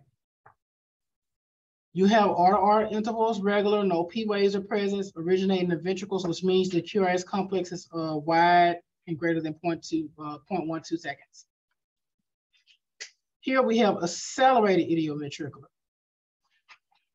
This is also a lethal rhythm. So don't say, well, I didn't know it was important. Accelerated idioventricular rhythms are lethal. Um, this is regular. This strip is on the test. The R to R interval is regular. If you count the heart rate, count your heart rate and tell me what you get. Heart rate is what? 80 beats per minute. And then anywhere between, anything between 50 to 100, if it's greater than 51, if it's not, if it's 50 on the dot, that's idioventricular. If it's 51 and above, then that's accelerated. You don't see a P wave. There's no intervals to really measure, but your QRS is 0.12 seconds. So a lot of people get this one confused with junctional, um, uh, they get this one confused with accelerated uh, junctional. When you first start off measuring these, some of these are 0.12. Toward the end of this strip, the PR interval 0.16. So the range for this is 0.12 to 0.16. And a lot of people answer this accelerated junctional, but this is accelerated idioventricular because the first part of this started off as 0.12 toward the end, it got to 0.16. Let me see if, see if I can find that one. So I can start right here measuring and probably end about right there. So if I count one, two, three. So that's three. Start right there. End right there. One, two, three. Trying to find the one that's 0.16. One of these is 0.16.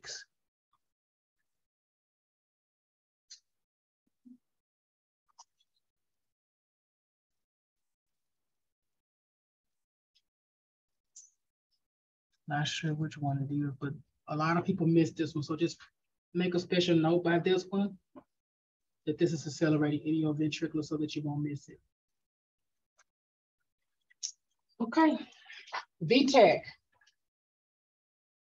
VTAC lethal rhythm. There's nothing to, to really tell you about that.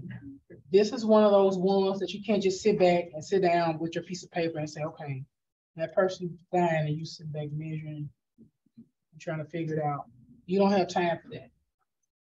Especially if it's pulseless VTAC. You need to immediately recognize their rhythm and get your crash cart and you gotta start uh, initiating advanced cardiac life support or basic life support, whatever you need to do to get that patient shocked out their rhythm. So this is VTAC. And you see we have QRSs, T's, your J point, this is a lethal rhythm. Your rhythm for this is usually regular. So if I was to take a piece of paper and try to hash it out and measure these QRSs, I'm going to have an R to R interval that's regular. My heart rate is gonna be greater than one hundred. There's not gonna be a P wave. Can't measure the interval. And the QRS is greater than 0.12 seconds. So let me tell you what I'm seeing people do on this test and they're making a mistake with this. Okay, so this is VTAC. What people are doing, they're calling it SVT. And they tell me, well, the heart rate was greater, it was 200. I want you to look at the QRS. The QRS is greater than 0.12 and it's wide and bizarre. It's a wide and bizarre QRS. That's what decipher VTAC from SVT. With SVT, your rhythm is coming so fast that you have a narrow QRS. Your QRS is less than 0.12. So that is the difference between SVT and VTAC. It comes down to the measurement of the QRS. VTAC, wide and bizarre QRS, SVT, narrow QRS. That's going to help you decipher. Another issue that I'm seeing on the test, a lot of people mix up VTAC with VFib. And it was, it's got to be VFib. The difference between VTAC and VFib comes down to the R to R interval. VTAC is regular. VFib, irregular R to R interval. That's the difference.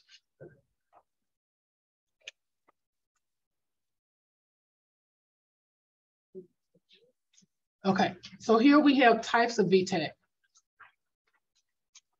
These are the two types of VTAC that we have. Monomorphic and polymorphic. So let me kind of get you to see the difference between the two, okay?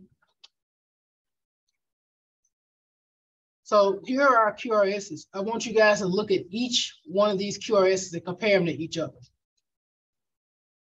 They all look alike. So mono looks the same. The QRS looks exactly alike. Look at polymorphic. Compare those QRSs to each other. They all look different, right? So mono looks the same, poly looks different. Monomorphic VTAC will be on the test. Highlight that. Not that it's extra, but monomorphic VTAC will be on the test. Polymorphic VTAC is not on the test.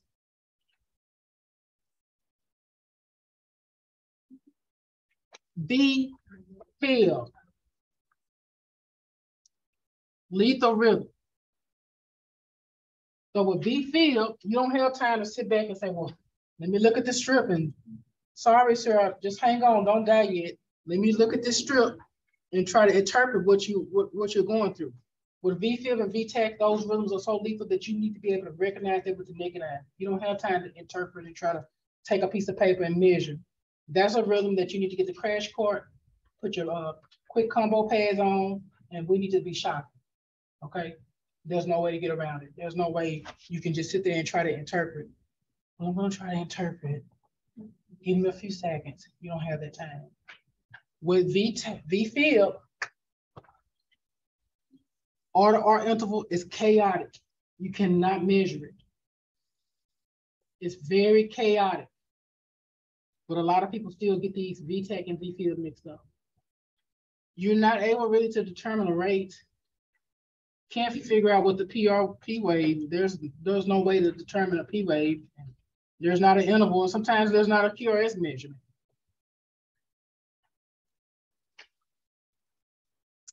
Let's talk about the types of V-fib because there are some other types. We have coarse V-fib, and then we have fine V-fib. So here we have this V-fib here. If I tried to measure this with a blank sheet of paper and tried to measure the R to R interval, it's gonna be irregular. It's greater than three mm, so that means, so we have this box right here, right? One, two, three, four, five. So it's greater than five. This one here is like greater than, it's, it's really high. So that's how you know the difference between coarse. Fine is usually less than three. Coarse V fib is on the test. Coarse V fib is on the test. This is the exact, the exact strip that's on the test. So if you come to me for remediation and you missed that, that tells me you didn't study. Coarse V-fib is on the test. This is the exact same strip. Special note, in the answer choices, they will include fine in there. And a lot of people are choosing fine. Fine V-fib is not on the test. So do not choose that. Of course V-fib is on the test. Is the exact same strip. Please do not come to me having missed this. Okay. Okay. Let's talk about premature complexes. All right. So premature complexes, these are beats that uh, that come in before the next anticipated cardiac cycle. Okay. We have PACs, and they originate in the atria. They're the hardest to identify, but it looks like an early sinus beat we have an upright P wave and a narrow QRS. PJCs, which is not on the test, but you need to still know about it in case you're on unit and you're trying to figure out what that looks like, but this is what it looks like. It originates in the AV junction. Uh, no P wave, inverted or retrograde P waves, it's narrow QRS.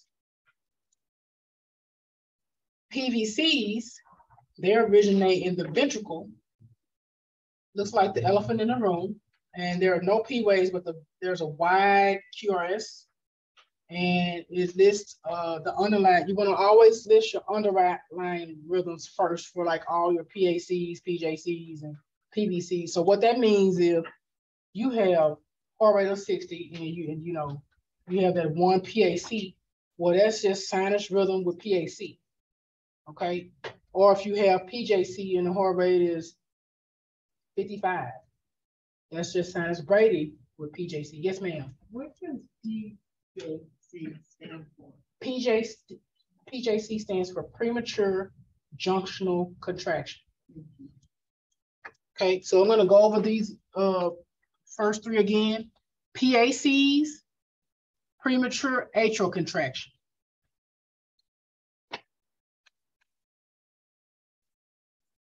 PACs, premature atrial contraction. PJCs, premature junctional contraction. PVCs, premature ventricular contractions.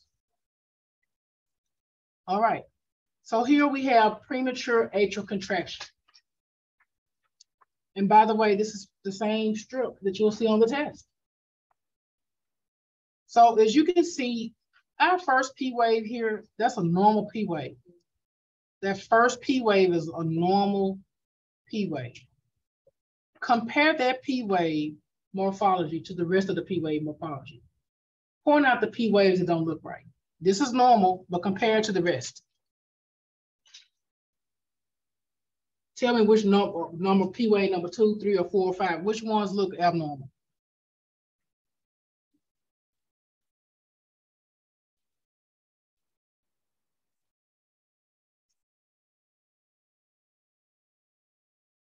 Anyone um could guess? Three, five, six. You said three, five, six. Okay, you said three, five, and six. Anyone else? Two and four. Okay.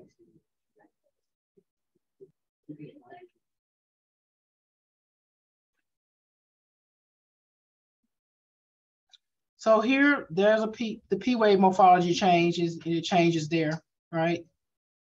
Then it flips back to normal. Look at that. It flips back to normal. Then here we go again. Those look a little bit different. That flips back to normal. So premature uh, atrial contractions, that P wave morphology changes. You'll see this on the test. Um, I'm just gonna just stop sharing for just a second. I want you to see a quick little video about the, uh, there's a video that I want you guys to see regarding, uh, we're on page 67, so I'm gonna come back to that in just a second.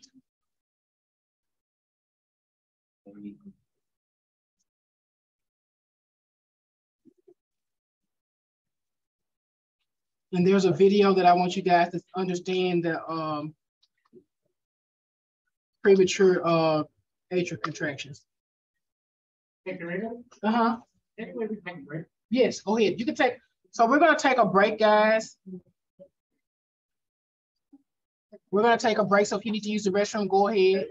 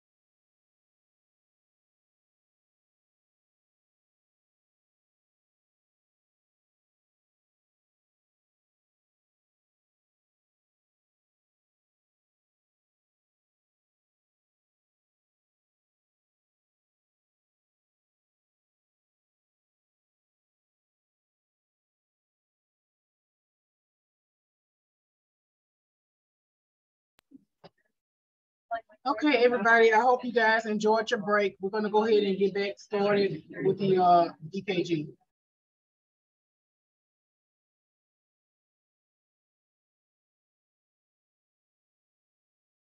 So we left off talking about premature atrial contractions. I'm going to show you a, a YouTube video that will kind of help bring some uh, clarity to premature atrial contraction.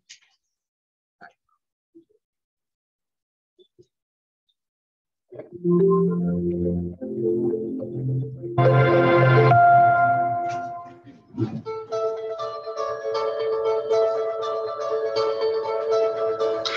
so what's the criteria we use to interpret a PAC on our ECG tracing?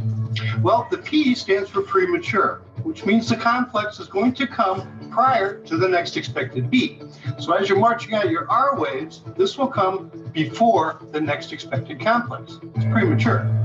It's a PAC atrial, but not sinus. So this impulse is originating somewhere in the atrial chamber, but not from the sinus node. It's taking a different pathway because it's coming from a different area, thus creating a different shaped P wave. The morphology will be different. It'll always be upright, but it may be a little flattened, and it's not going to look like a regular sinus P wave. Now, because the PAC has really no impact on ventricular conduction, the QRS should be narrow, less than 0.12, and honestly, it should look like all the other QRSs within that strip. So the big takeaway comes premature, the P wave looks different. It has a P wave, but it looks different. QRS remains the same. And that's the criteria to determine a PAC on your ECG tracing. I'm Mark, thanks for watching. See you in the next video.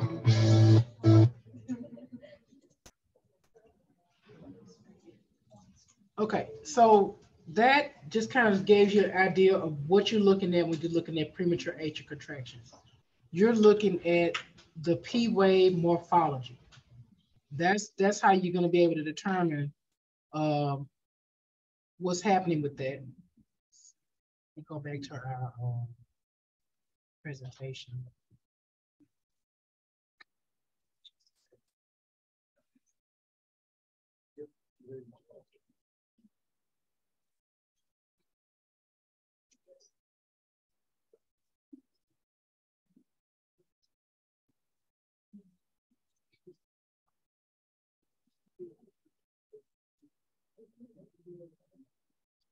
Okay, so here we are looking at our PAC, and now that you've watched that video, can you look at that and determine where the premature atrial contractions are at now?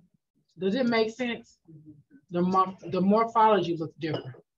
So uh, with this, you're gonna have an irregular order with premature atrial contractions. If you have a premature atrial contraction, the order R is the only thing that's gonna be abnormal about this in that premature atrial contraction. Your rate is gonna be probably either 60 to 100, or it could be sinus Brady, but that's not a, you, you see sinus Brady every day in sinus uh, tach. Not sinus tach, but sinus Brady and sinus rhythm. Your P wave is going to be present or hidden in the T wave. Your PR interval is going to be normal. Your QRS is going to be normal. You're just going to have the, the uh, P wave morphology that looks different. This is normal P wave, and look at that one. That looks different. That looks different. So P wave uh, morphology changes when you're looking at premature atrial contraction. Here we have premature ventricular contractions. That's a little bit different. Remember we talked about QRS as ventricles, right? So everything here is normal up until you get here. That is a PVC. That's my PVC, and that's my T wave. This is a premature ventricular contraction.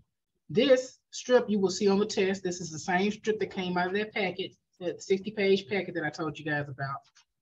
Rhythm is gonna be irregular because you have a PVC and you'll use your underlying rhythm to determine what that underlying rhythm is. In the, the prophecy package, that they consider this sinus tach, they say sinus tach with a rare PVC, but this is what that is.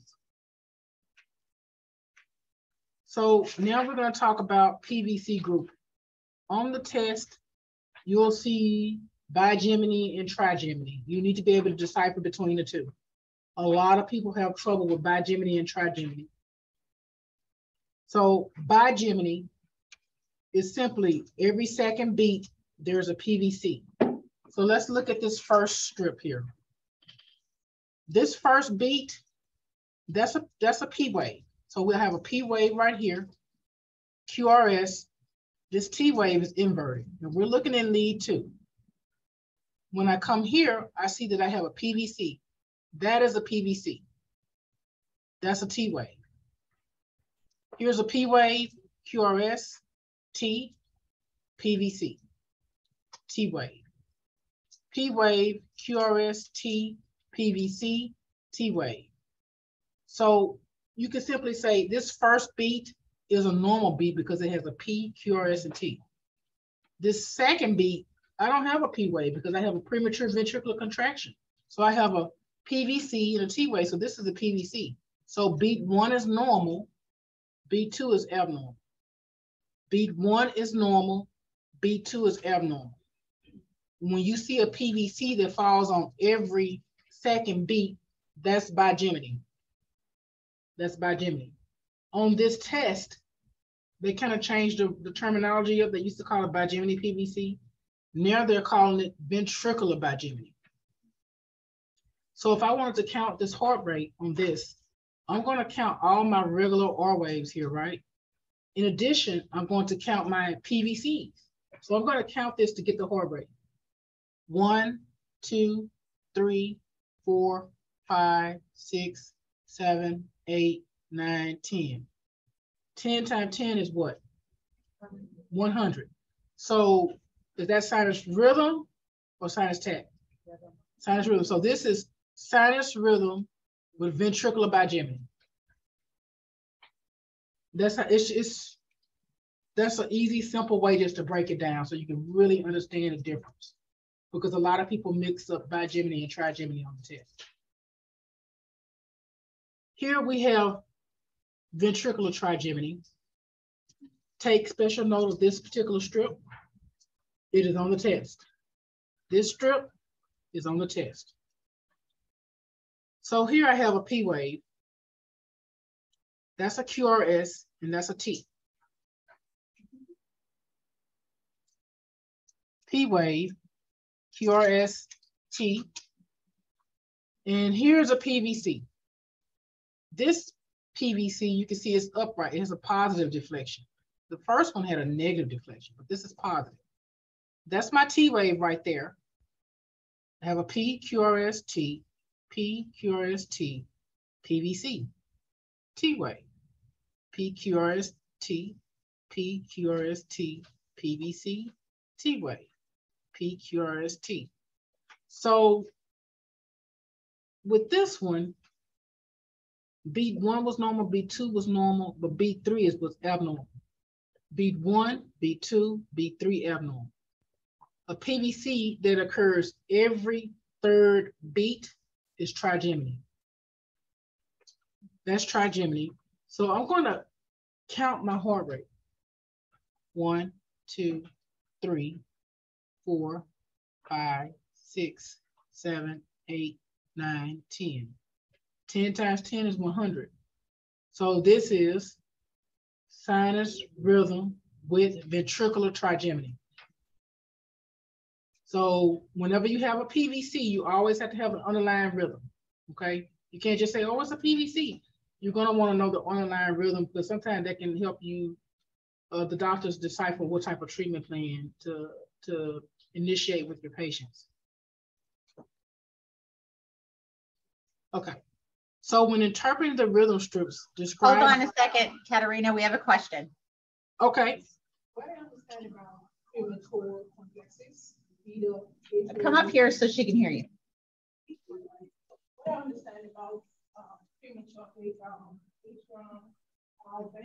Okay, again, she can't hear you. Don't talk until you get up here. you have her to come in here so she can answer the question. Yeah, you want to go next door? Okay. She's right inside the door.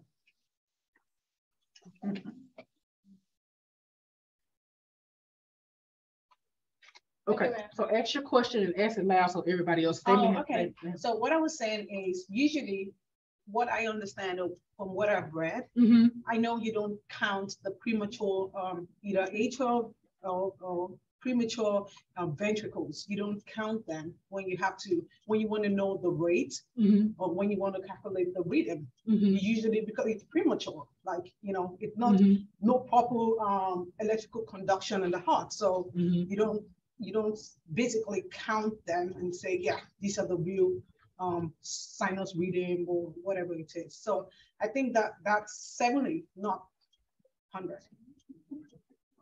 So what she's asking, um, The PVC is not. I'm counting these PVCs. Uh, No, One, yes, so that's a, one, then no. so you wouldn't count that? No, you wouldn't. count You wouldn't count that? Yeah. And you would just count these? Exactly. So she's asking a question, her question was about counting the, uh, to get that heart rate, we're counting, uh, this PVC. So PVC is still PRS, right? And the PVC is wide and bizarre. On the test, and when you're on those units and stuff, and you're counting your heart rate and you have a PVC, you're, you need to count the, you need, with the PVCs, you need to count the wide and bizarre PVCs with that to get your heart rate. Yes, ma'am. Would be just like taking someone's pulse and you still feel it, right? We're counting, we're counting, uh, we're talking about not a pulse that you're taking, we're talking about on a strip. is It would correlate though, right? If Ye- you were yes, it will correlate. pulse, it would be the same heart rate as if you Mhm, mhm. So you would count, and in, in, in the beginning of this, of this, uh, presentation, and let me see if I can go back and, um, let's see, uh, so I can kind of show you what I'm talking about. Give me a second. So we were on page sixty-eight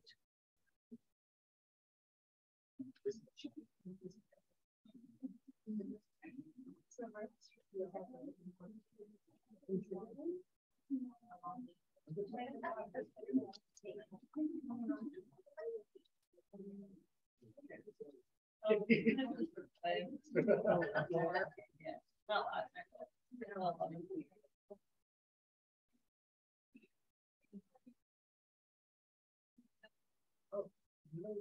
nice and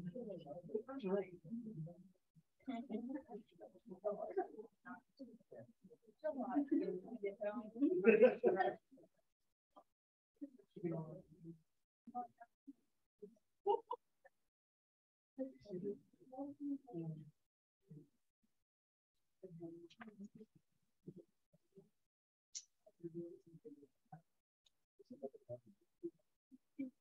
figure out where was it in here that we talked about the heart rate um,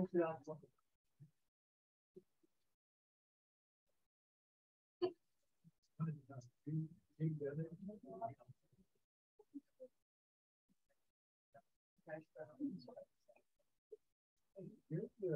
was-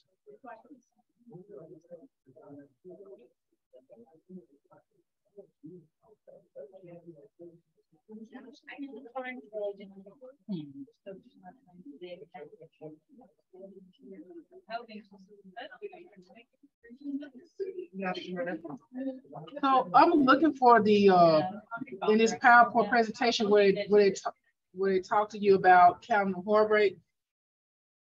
Uh, on this test and, and the way they have you take this test, for this test, they look at the, uh, PVCs and that's the way we've been teaching to count the, the PVCs, uh, as a part of your heart rate. So that you can pass this test. You don't have to, but this is a very difficult test. But on this test, they, they use the, they use the PVCs to, to determine, uh, like this one. We're counting that to get our heart rate. Okay, we're looking at that. And you're counting that abnormal PVC in that as an R wave to ca- calculate your heart rate. Okay. For this test, so that you can pass.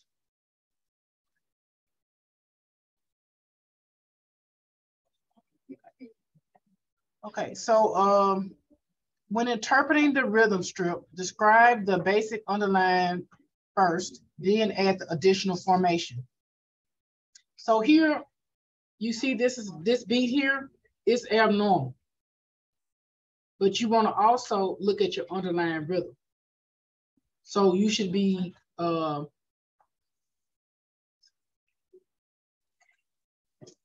include, here we go, include the PVC as a beat when calculating the heart rate for irregular rhythms. I didn't make this up. I'm just following the rules. And they've had, a, when they developed this PowerPoint presentation, they went to all 17 hospitals and one educator from each hospital volunteered to work on this PowerPoint presentation and looked at numerous references on how you should do this. So when you're interpreting your strips and you have a PVC, you're going to calculate that abnormal beat in that heart rate. One, two, three, four, five, six, seven. Heart rate is 70. Sinus rhythm with PVC. I didn't make the rules up. I didn't make this PowerPoint. But all the educators in our division, they came to a conclusion that this is the, the PowerPoint presentation that we're going to go with. And this is how you're going to interpret your rhythms. And this is how you're going to calculate your heart rate. Okay. Any, any questions? No. Other important rhythms. Should I talk to y'all about this? This one, uh, asystole, lethal rhythm. So of course, if you go in your patient room, because I've seen this before, you see them sitting up watching TV and you have asystole on the uh, telemetry monitor, check your leads, okay? Because sometimes the leads, I've seen, I've had that happen to me. So always check your leads so it, it, it kind of match up that condition with that patient. But if you see that patient's unconscious and, and they're blue, and you have this rhythm, then most likely it's asystole. You want to make sure that you start CPR and call your code blue. So this is a lethal rhythm. You're not going to have any electrical activity. Uh, the rate is absent. Everything is absent. There's nothing much I can tell you about that. There's no way you can just say, well, I guess I got to sit back and let me, let me try to interpret this strip. Those, those are, this is one of those rhythms that if you look at it and you see it, you have to know what you're looking at when you see it. And you have to initiate emergency, uh, your, your hospital's emergency, which is a code blue for our system. We should all be, if we walk in the room and we see this is happening, you should be pressing, there's an emergency button in every room, every hospital, you should press that button and you should start CPR. You don't walk, run out of the room and wander into the hallway and ask for help, you should be starting chest compressions because everyone is basic life support uh, certified. Any questions about the asystole? No questions? Okay, so let's talk about the pace rhythms. These are the same exact strips that's in that packet. And everybody misses it. Please don't, if you don't do anything else and you can give me my birthday gift early, please get these two right, okay? That'll be my gift if you get those two right. Do not get those wrong. If you see two spikes, so we have a spike here right before for our P wave. Anything before P wave, P wave equals atrial, so that's an atrial pacing spike. Here's a P wave, right? Here's a uh, QRS, and there's a spike right there. This is atrioventricular pacing. There's nothing to, to second guess about this. They're not giving you any hard pacemaker rhythms like failure to pace and all that stuff. You don't have that. It's just simply atrioventricular pacing. You, you see two spikes, uh, just choose AV pace, even if you're not that strong in telemetry. You see, just remember, she said, if I see two spikes, choose AV pace. Okay, keep it simple. Then you have your ventricular pacing. One spike here and it's right before your QRS, and there's a T wave you don't necessarily see a P wave in this. There's no P wave. So this is just simply ventricular pacing. There's one spike. That's it. And this is what you're going to see on the test. These exact same strips are on the test. So we gotta talk about our worst telemetry strips we'll probably encounter, the blocks. Okay, the blocks are the worst of the worst. And uh, we'll try to figure out how to get through this with the blocks. So atrioventricular blocks or AKA heart blocks. The term heart block is used to describe arrhythmias in which there is a delayed or failed conduction of electrical impulses through the AV node into the ventricles. The PR segment represents the AV node on ECG and is important in determining the type of AV block. We have our most easiest block, first degree heart block. So if you measure this R to R interval, you're gonna get a regular R to R interval. Heart rate is usually gonna be between 60 to 100 beats per minute.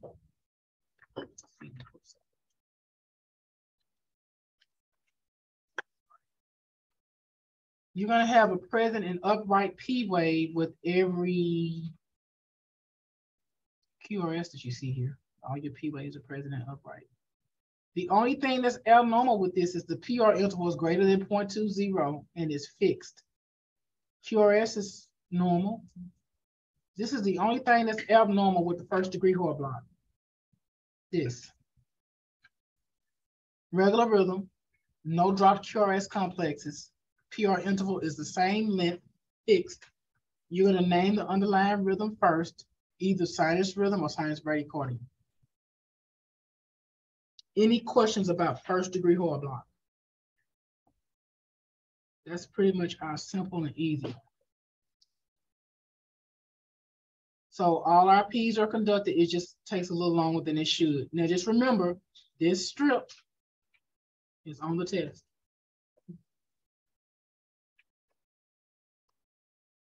Let's talk about this one.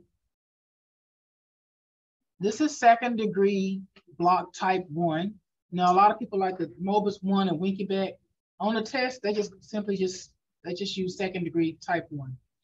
A lot of people get confused when they start saying Mobitz one, Mobitz two, Wenckebach, and all, they, they, they even confuse me. So on that tip sheet, I just kind of narrowed it down, second degree type one and second degree type two. Keep it simple because you'll confuse yourself. You'll confuse yourself that you won't even understand. And then some people come to my office and talk to me, Winky back, Mobitz, they confuse me. Mm-hmm. and I've been doing this for over 22 years. I'm like, just say second degree type one or second degree type two. And I just want you guys to make sure you really have a good understanding of this so that you can pass your test because that's what we want. Okay, so with this one, of course, you're gonna have an irregular R to R interval. Heart rate could be between 60 to 100 beats per minute. You're gonna have a present and upright uh, P wave, and it's gonna be progressively getting longer until a, a QRS drops. It's gonna be varying, and it's gonna be less than 0.12 seconds. Irregular rhythm, dropped QRS complex, PR interval changes. It's gonna be variable. You have a question? Yeah, so are we not counting this as heart rate fifty? So what is your R rate? R rate is, is fifty on the dot? Okay. Now, this is criteria they pulled from somewhere, but on the test, uh, what I've been seeing, anything that was third degree was uh, less than fifty. Anything fifty and above was, you could, you, you had your second degree type one and two to, to, to decipher between. So, but this is just a strip they use for this presentation. So a lot of the tips that I'm giving you guys is because I remediated over 100, 100 people, probably 300, a lot. And I've seen the common mistakes and uh, just to try to help you get through this test and navigate through it. But what I've seen, uh, if it's above 50, uh, you can go with your second degree type one and two. So in this, this particular case, the heart rate is one, two, three, four, five. But you have your PR interval you have a P, QRST, P, QRST, P, QRST. Here's a P, but there's a drop beat. Here's another P, QRST, P, QRST. So we have one drop beat here. We already know that our heart rate is 50, so we're not gonna even look at third degree heart block. But we do know this. we know that it can't be first degree heart block because first degree heart block doesn't have any dropped QRSs. So we do know that if we measure this, this PR interval, you see is here we have that. You would take your paper and you would put a hash mark there for that beginning of the PR interval and put a second hash mark on that paper for the ending of that PR interval. You would take that paper and then you would bring it and put it, place it right there to compare it. And you'll see that this is stretching out. That's getting longer.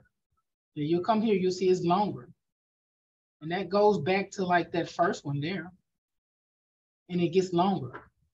That's second degree type one. The PR interval is inconsistent and you have dropped QRS.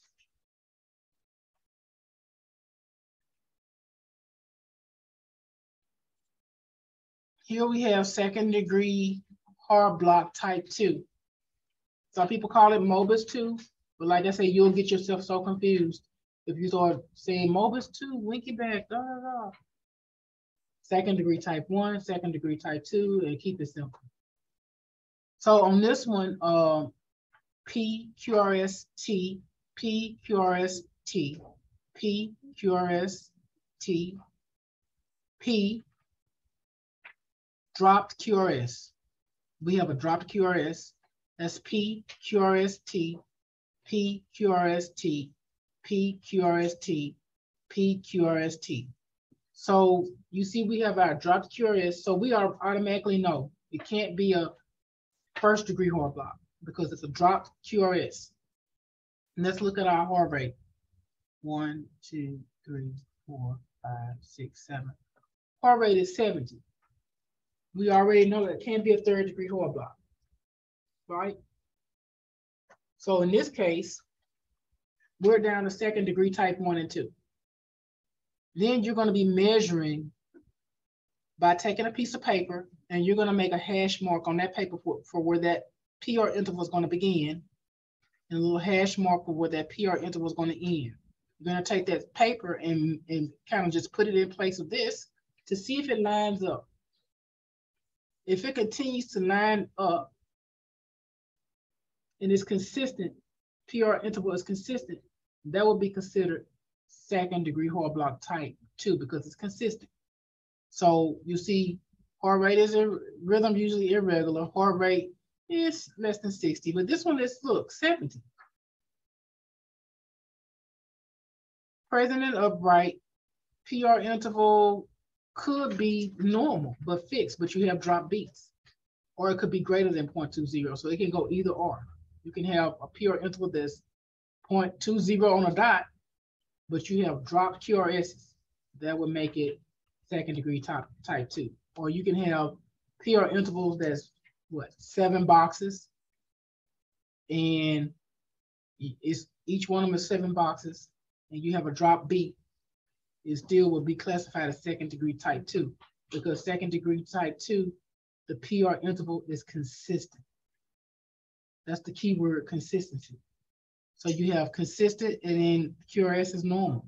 So irregular rhythms, dropped QRS complex, PR interval is the same length, is fixed.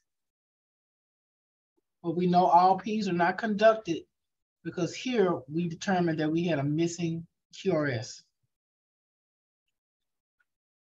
Third degree heart block, our lethal rhythm.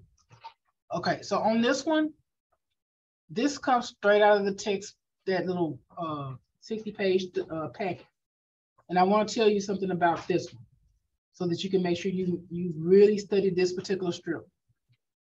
You remember on the tip sheet, I told you if the third degree heart block was 50 or less, it would be third degree. This is that one exception. What is the heart rate on this one? 50. This is the only third degree heart block on version A that's exactly 50. This is the one that comes out of that textbook. Ask me because I just took my test. I've, I've uh, got all my things right except for that one. Took it like three weeks ago. And I was like, wow. So I'm gonna warn you, this is the, the exception to the norm. This is the only one that the heart rate is exactly 50 beats per minute on the dot. The exact same strip that's in that packet. okay? So our heart rate is 50 on this. Now, remember, I did tell you on my tip sheet, if you see it was 50 or less, then it's, it- it's third degree heart block, but it's less than 50. But this particular third degree heart block is, is 50 on the dot. This is the only one that's 50 for the heart rate on the dot, okay? So your R to R is gonna be regular and the P to P is regular. You have a regular atrial. P's are present and upright. There's no relationship between these P's and QRS and the uh, uh, QRS measurements varies. Regular rhythm, more P's than QRS and the PR interval varies. And no, the P's are not, no P's are conducted on this one. This uh, recap this recap is a good recap to look at to make sure you really have a good understanding with your uh, blocks. And what I do is I've taken this out of this PowerPoint presentation and I use that for my remediation because so many people have problems with the blocks. There are 10 heart blocks on version 8, 10. 10 heart blocks on version 8. So let's go back over this recap. Remember, we talked about sinus, uh, well, first degree heart block. There are no drop QRSs. If you can, as you can see, we have one P wave for every QRS. Let's see, P QRST, P QRST, P QRST, P QRST, P QRST. These are each eight boxes. So five boxes is 0.20.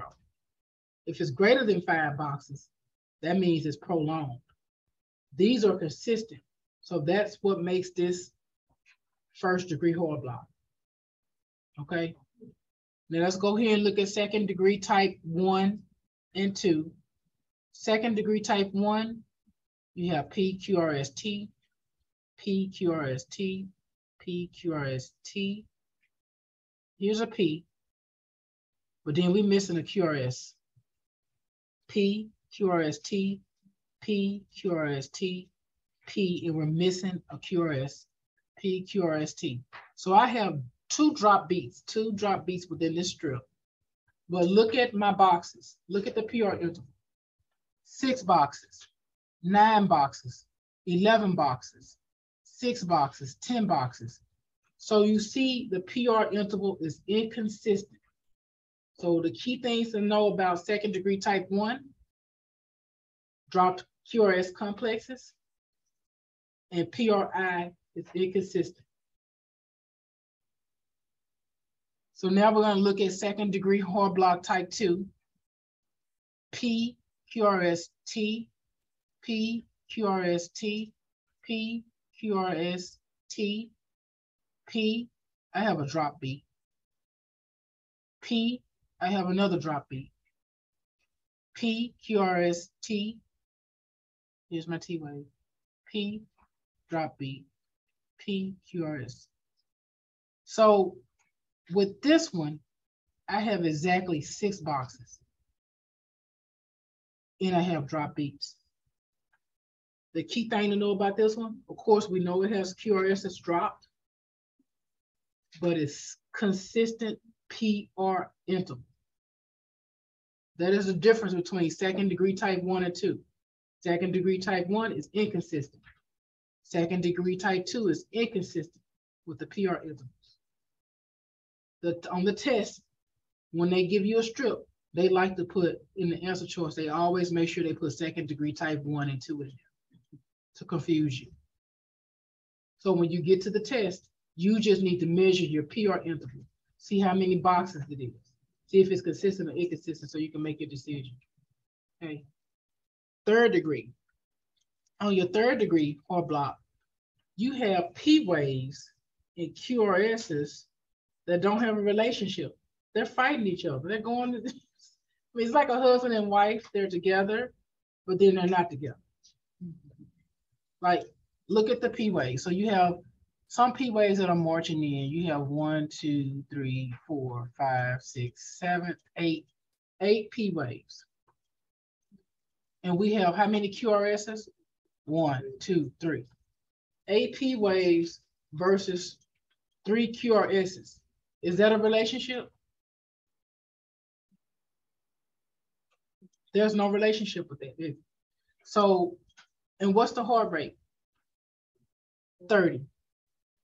So that's what makes this a third degree heart block because you have that heart rate of 30 and um, you you don't the conduction pattern has changed. You that piece is marching through your QRSs, and that's dangerous. And that's why what makes third degree your most lethal rhythm outside of V-tach, VFib, and asystole. With third degree heart block, you can't say, okay, well, let's see what we're gonna do. Let's look at your, you don't have time to, to, to do anything but get the crash cart, get your quick combo pad so that you can put those on and do transcutaneous pacing. You're not gonna even make it to the cath lab with a heart rate like this. I've had a patient who had third degree heart block and it was on a weekend. And uh, I, I, I was like, okay, we got to call in all the on-call people for the cath lab. So I, I and got the crash cart, and the nurses was like, well, you got to wait until the, the cath lab people come in. I said, we don't have time for that. And they was like, what are you doing? I said, I'm putting on the, the, the, the, the pads. I'm going to go ahead and uh, start initiating uh, transcutaneous pacing. And they was like, you can't do that. I said, well, talk to me about it later. Do whatever you do. So I put those pads on and I uh, set the uh, defibrillator to do the transcutaneous pacing. And I made phone calls later. But our policy guided me because we had a protocol that I followed. You're following a protocol. You don't have to like, okay, let me call and see if they're gonna wake up and answer the phone. It was I was working night shift. It was in the middle of the night. I needed to do transcutaneous pacing. You know what time the, the cath lab got there? They didn't even come. They was like, well, we're, we're gonna, he gonna be first case in the morning. So with this lethal rhythm, you need to make sure you make the right decisions for your patient, okay? Okay, so now we're gonna practice. So here you have on this, uh, some practice questions. So, uh, this one, we just wanna know the heart rate count the number of R waves multiplied times 10 and tell me what you guys think.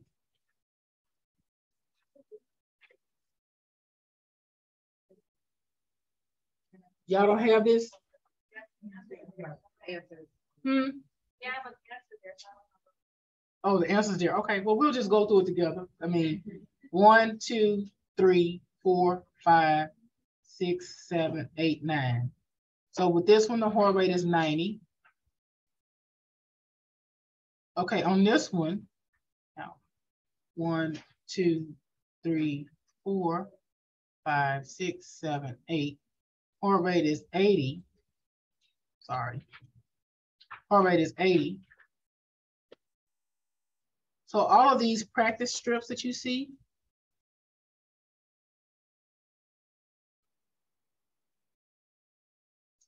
all of these practice strips that you see are test questions. So when people come to me and say, oh, I didn't do well on the test, and they be in my office crying, and I guess they want me to give them a hug, and I don't know if I should prepare them a bottle. I, did you study? Yeah, I looked at some stuff online. I said, did you study the stuff that we gave you in orientation? No, I didn't think to look at that. Okay, so let's let's look at the heart rate. One, two, three, four, five, six, seven. We don't see 70 in this one, right? This is one of the ones that you would have to use the 1500 method.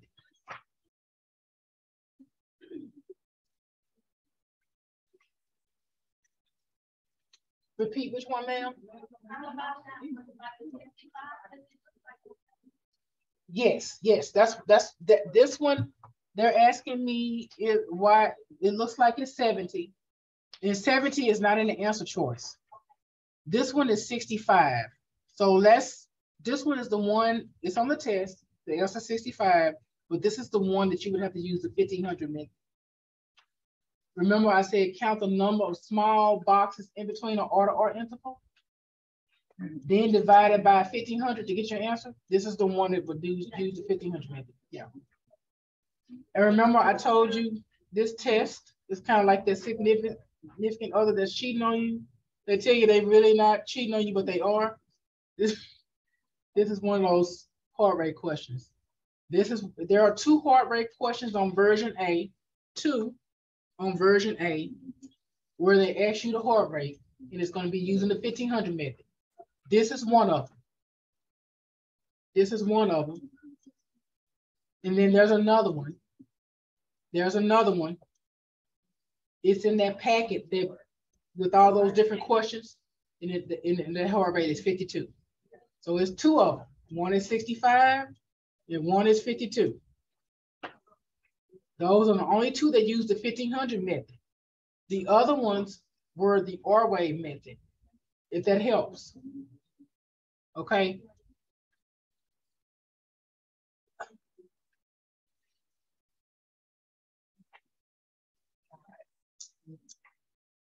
so let's talk about this one. Uh, this PR interval is 0.16.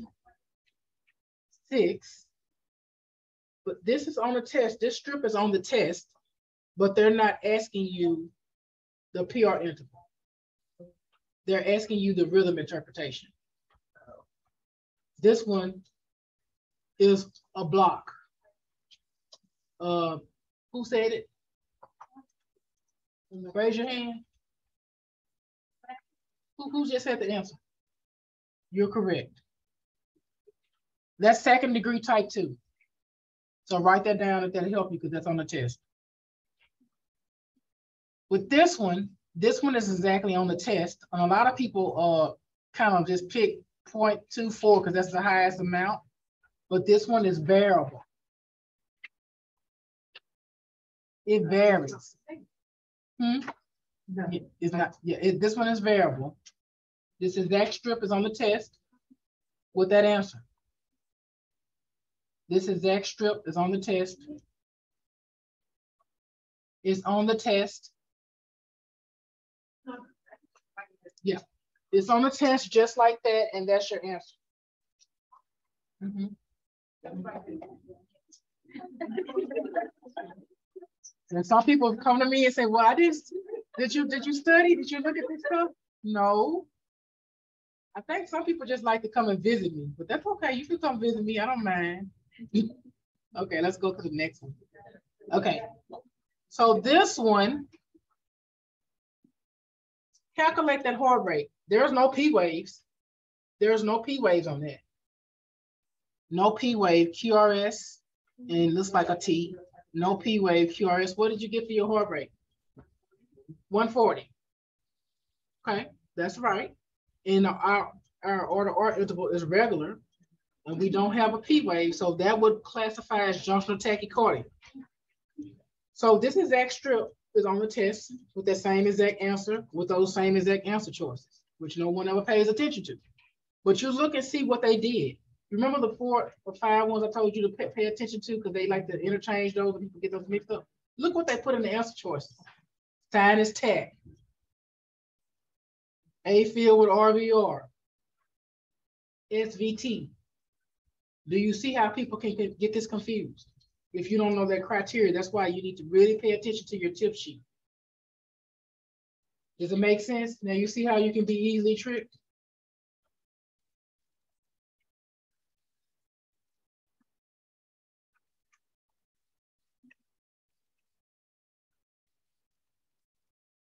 So we have one P wave for every QRS. There's no drop beats in this. There's no drop beats. So what is our heart rate? Six. So we know it, we know it can't be sinus bradycardia, correct? So we can eliminate that. Accelerated junctional, could have, could have been accelerated junctional? Do, do we have P wave? Do you see P waves? So it can be accelerated junctional. Sinus rhythm, we already said our heart rate was seventy. So if you see sinus rhythm and then you see sinus rhythm with first degree AV block, if you see anything with AV block, I want you to automatically say, hmm, let me measure my PR interval.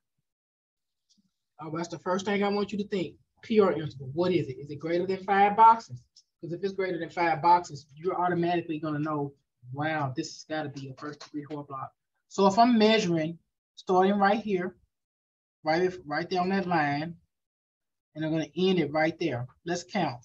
So that's five, six, seven. That's seven boxes.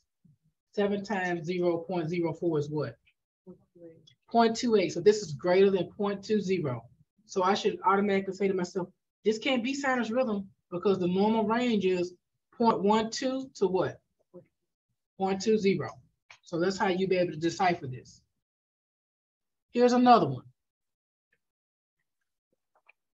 Look at your heart rate. What's your heart rate? 180. What's the normal range for sinus tachycardia? One, 100 to 150. What's the normal range for junctional tach? Junctional tachycardia. 100 to what? 150. You can look, go back. That's why I want you to write your tips down so you won't mix up your numbers. AFib, what's the range? 60 to what? Just regular AFib, not AFib with RVR. What's your heart rate range? 60 to 100. So this heart rate was 180, but you see how they actually they put sinus tach in there, junctional tach. Then they stuck AFib in there. I want you to pay attention to those answer choices so when you're making a decision, you won't get them confused. They love to put AFib with RVR, then they'll stick AFib there. That should be a, a red flag. As soon as you see AFib with RVR and AFib, you should, a, red flag should go off in your mind. Hmm, they're trying to trick me. What's my heart rate? Then they add sinus tach and junctional tach, and that's to really get you get you stirred up and say, wow, sinus tach and it could be that. But your heart rate is 180. Sinus tach and junctional tach caps out at 150. Okay. Here we go with the next one. We're saying the P, uh, QRS is uh, 0.10. So um, I don't remember this being a QRS question per se, but this strip is on the test in its interpretation. This strip does not have a P wave. There's no P waves, but our heart rate is one, two, three, four, five, six, seven, eight, nine. Heart rate 90. PR interval is less than 0.12. Accelerated junction. So you'll see this on the test, but it's accelerated junction.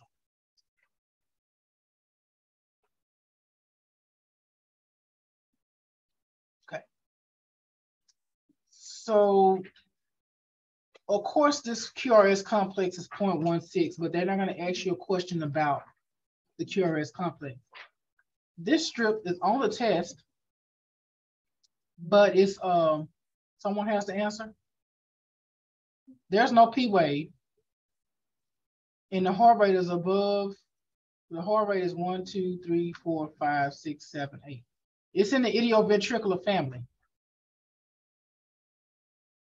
This is accelerated idioventricular because the heart rate is greater than um, 50. Idio, idioventricular heart rate is 20 to 50 beats per minute. Accelerated is 50 to 100. So, but this strip is on the test. Accelerated uh, idioventricular. Uh, okay, so these additional things you can use to help you, uh, it could help you, but the best thing that's going to help you to help with this test is to uh, all the strips that I identified in this packet that would be on the test, study that. Then we have 23 practice questions. What time do we have? Hmm? You have 23, you have a, a practice test? Can you pull that out?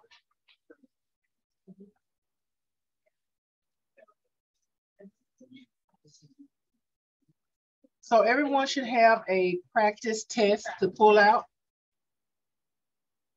Let me try to find it so we can uh, pull it up. But I want you guys to start working on that practice test.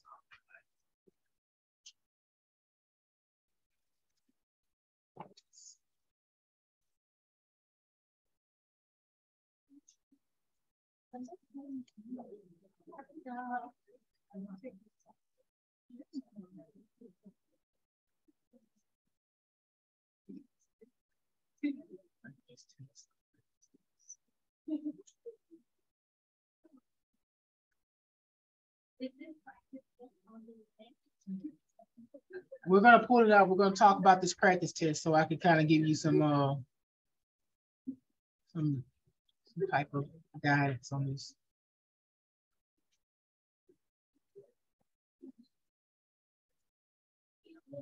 Yes, ma'am. I'm gonna answer that in a second. I'm gonna pull it up. Let me give, give me a second. I'm gonna pull it up so that everybody can, as I'm talking about this, that the group next door can um they'll have um not show markers.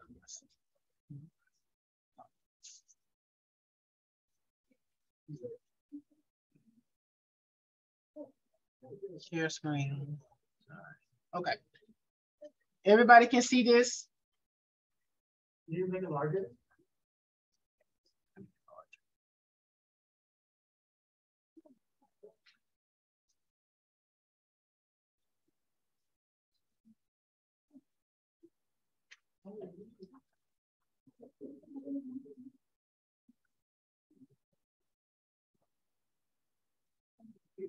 Okay, so everybody see this, you have a practice test. This is version A. Version A, the easier version. And there are 23 questions. And then you should have the answers with that, that you've been provided. But we're gonna go through this and, and you know, go through it together and practice it together. These 23 questions, every last one of them on the test. But guess what? Guess what? No one ever looks at it. No one ever looks at it. No one ever looks at it. They come to me for the second attempt. So, so we're we're we're gonna uh we're gonna work these together. We're gonna work these together, and then uh for those of you next door, if you have uh you need additional assistance, you can come in here so that I can give you some guidance. So we're gonna go ahead and work on question number one together, okay? So let's work on question number one together. We have three, it's almost four o'clock. I think we're gonna go over our time. Do y'all wanna work on this together? Yes. Okay, okay. So here we see there's no P wave. We have a QRS and then here's a T, it looks humped, but there's no P wave. What's the heart rate? 140. We don't have a P wave, but we have a heart rate of 140. What do you think the answer is? Because they put all those ones I told you about that they all like to mix up together. You said junctional tach. Anybody else have any other objections? Any other objections? Okay, this is the one that's uh, in the packet. It's on the test. It's junctional tach. But as you can see, they threw a lot of stuff to kind of throw you off. Ventricular tach, AFib with RVR, sinus tach. So the answer for this is junctional tach.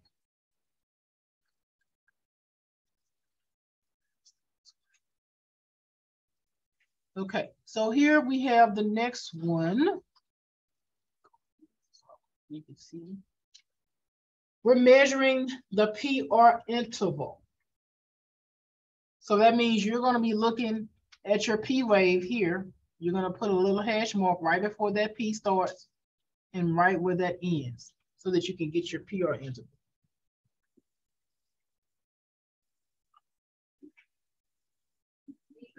Some people said B is in boy.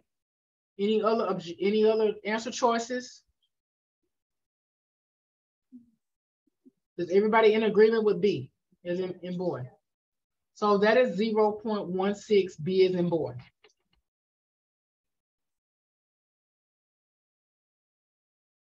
Here we have our next one, number three. I'm trying to fix it where you guys can see it and it makes sense. Okay, so we have um in the beginning, we have uh three normal beats. So what we can do is these normal beats, we can take that and do the 1500 method to get our heart rate. So what I'm gonna do is I'm just gonna come here and say, okay, this is my R wave, that's my R wave. I'm going to count the number of small boxes that's in between these R to R intervals. 5, 10, 11, 12, 13, 14, 15, 16, 17. 1500 divided by 17.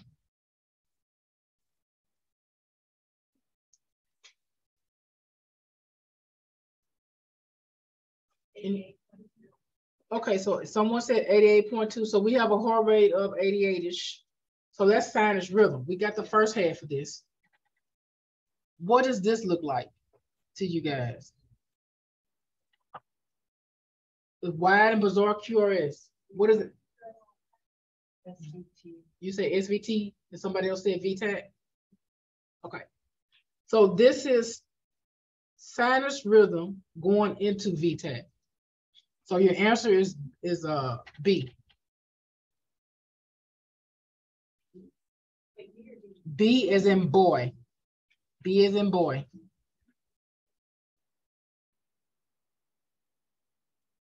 Okay. so this next one we see here, number four, we're measuring the QRS duration. And when you're looking at your QRS duration, you want to measure right there and end it about right there.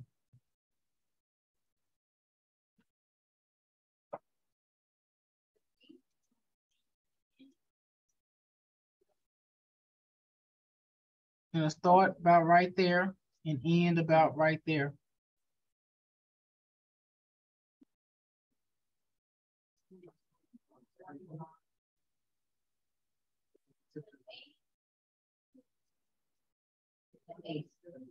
A is an apple.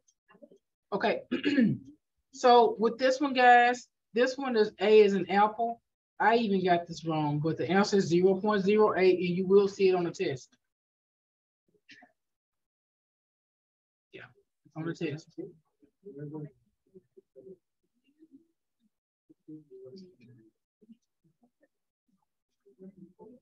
Okay, so this, let's talk about this one. Number five. So you have this same strip is going to be used twice on the test.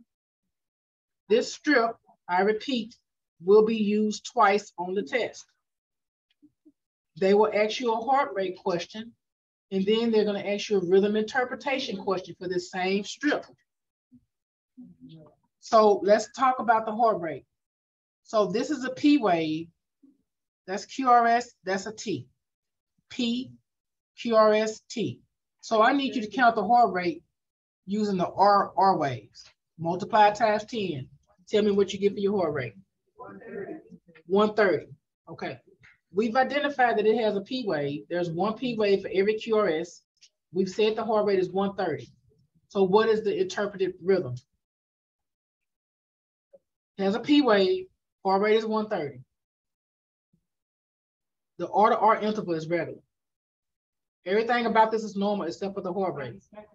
Sinus tachycardia.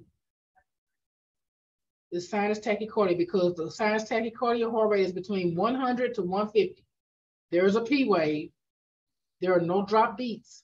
The R to R interval is regular. So this is sinus tachycardia. This is another most missed question on the test. A lot of people think this is atrial flutter. Okay, this will be on the test twice. One for heart rate and the other one for uh, rhythm interpretation. Let's talk about this one. What's the heart rate? The heart rate is 80. There's no P waves on this one. What is our QRS duration?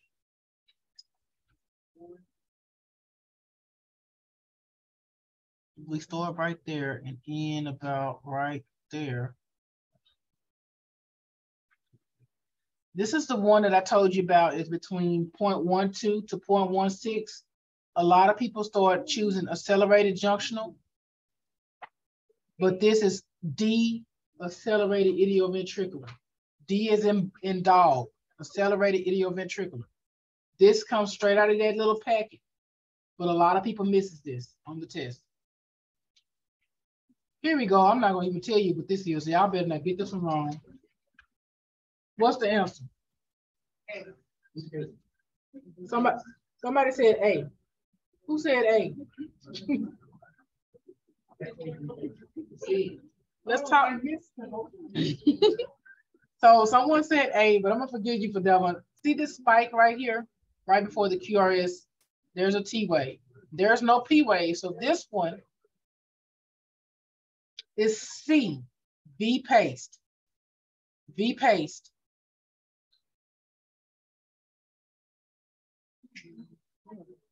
This is the one number eight.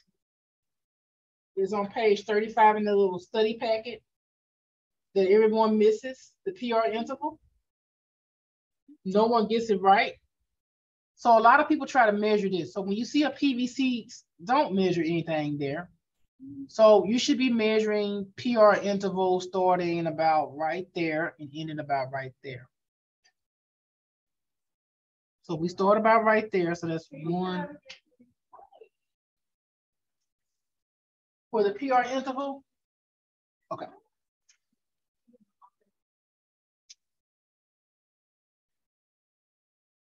Let's start about right there. Right there. End right there. So one, two, three, four.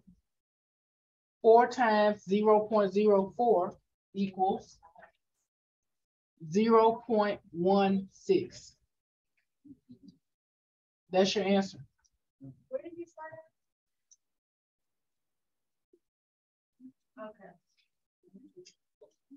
You said this was uh, in that packet? It's in the packet. What page? Page 35. Mhm. 0.16, please don't miss that. Here's our next one. I told you you will see again on a test. This strip, this strip here, you're gonna see it twice. They're gonna ask you a QRS duration question, and then they're gonna ask you a rhythm interpretation question. PR interval, uh, the QRS duration on this one, that's 0.12. That's 0.16. But neither one of those are in the answer choice. Okay, but the answer is A is an apple. I even got it wrong. So with this one, it's going to be also interpretation question. You have a heart rate of 20, and you have a lot of P waves and not enough QRSs. There's no relationship there, but your heart rate is 20. Who said it? Some third degree heart block? Raise your hand if you said third degree heart block. That person back there in the back, raise your hand. That's correct. Third degree heart block.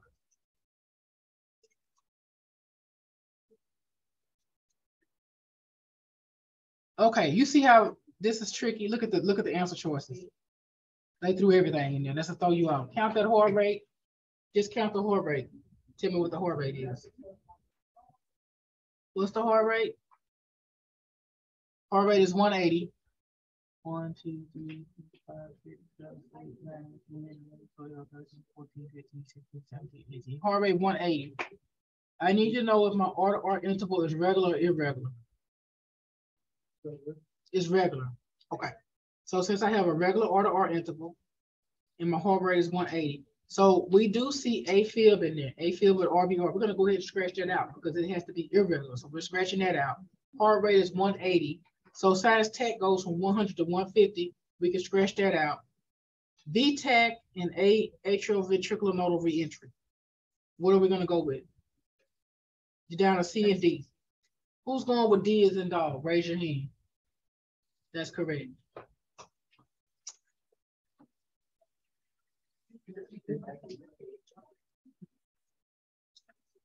Okay, so we have our uh, number 11. Count your heart rate. Count your heart rate. Tell me what you get for your heart rate.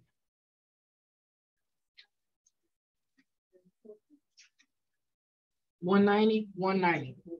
Okay, do we have one ninety in our answer choice? That's the answer, one ninety.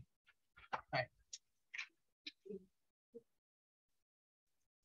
Here we go. Count the heart rate. That's correct. At least you guys remember. Okay, good job. 65. No one should miss this one. Number, AV pace, what did you guys say? AV pace. Raise your hand if you agree with AV pace. Thank you. It's AV pace. So this one is B is in boy, AV pace. Do not miss this one. AV pace. There's two spikes.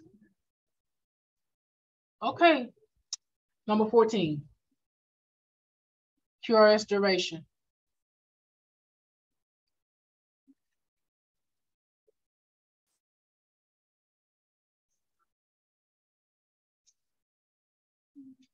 Okay.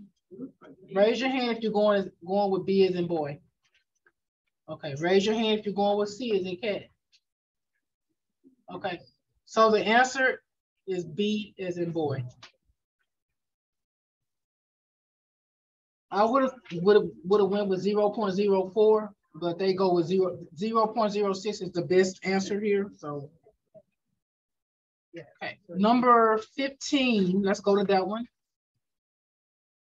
So on this one, guys, there's no P wave. What's the heart rate? One hundred on the dot, right? So there's no P wave, so we know it's not normal sinus rhythm, and we know it's not sinus tach because they both have P waves. We're down to B and D. Who's going with junctional? Okay, those are my junctional folks. Who's going with accelerated junctional? Okay, just you. Okay, so what's the heart rate again? One hundred. So anyone who answered accelerated junctional got it right. Good job. Accelerated junctional because the heart rate is 100. 60 to 100. If the heart rate goes above 100, then you then you're junctional tach. Okay.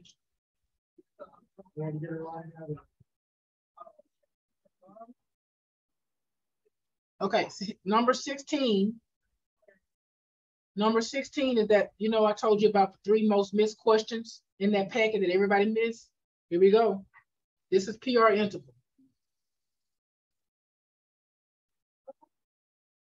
What do you think it is?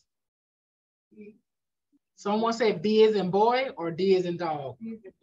B is in boy, okay. Any other answers?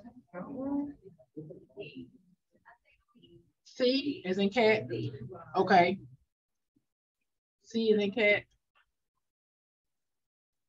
Who else? Any? D is in dog. Okay, so we have one right answer. If you answered D is in dog, you got it right. That is the most missed question on the test. D is in dog. Good job. No one ever gets this one right, so make sure when you study that you remember that you got it wrong so that you can get it right on the test. I don't either. When you take your test, but just remember, when you take your test, that's the most missed question. And a lot of people, that decides whether they pass the test or not. So please, please get it, please, I mean, you know, they, they missed all three for that one strip, so just try to, uh, remember to, uh, remember that that's the one that's tricky, very tricky. So this one, let's talk about this one. This, that's a P wave, QRS. T wave is like hiding somewhere. P, QRS, P, QRS. So you need to uh, identify the PR interval. So if you look right here, you're gonna start your PR interval right there. And you're gonna end it right there. So if you can count, count the number of boxes, small boxes, multiply times 0.04, and just tell me what you think the answer is. You say 20, okay. Who got 12? Okay, 12. Y'all got 12, okay, any other answers? 12, okay. What'd you get, 12? 20. 20? Okay. The answer for this one is B is in boy, 0.12.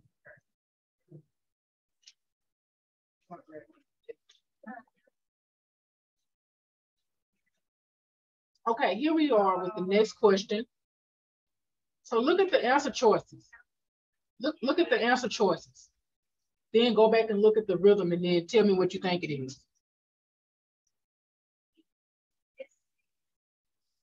Raise your hand if you think it's C. Okay, any other, okay, or any other answer choices anybody else think? So if you answer C as in cat, you got it right. That is coarse V-fib.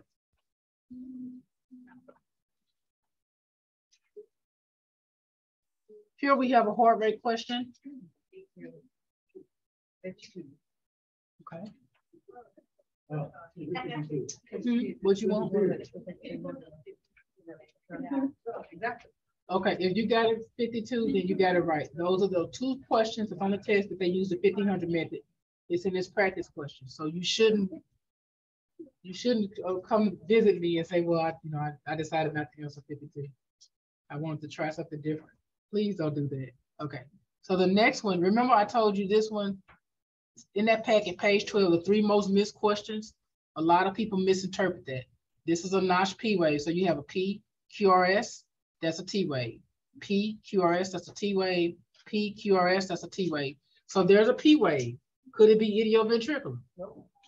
Could it be junctional rhythm? Nope. Could it be sinus bradycardia? Yes. So who else going with, with, uh, C, sinus bradycardia? Okay, who else going, who going with D, normal sinus rhythm? So this one is C is in cat. Sinus bradycardia. All right. Let's see, I'm gonna. So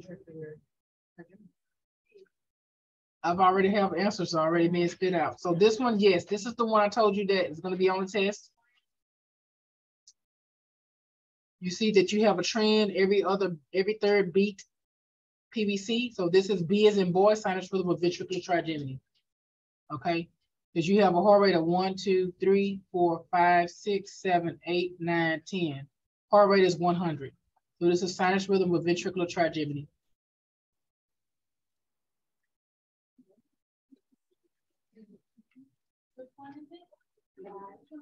Uh, it was sinus rhythm with ventricular trigeminy. So number twenty-two, what's the heart rate? 40.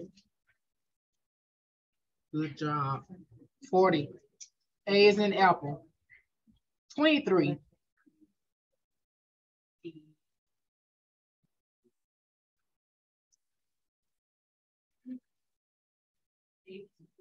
D or B? D is in dog or B is in, in ball?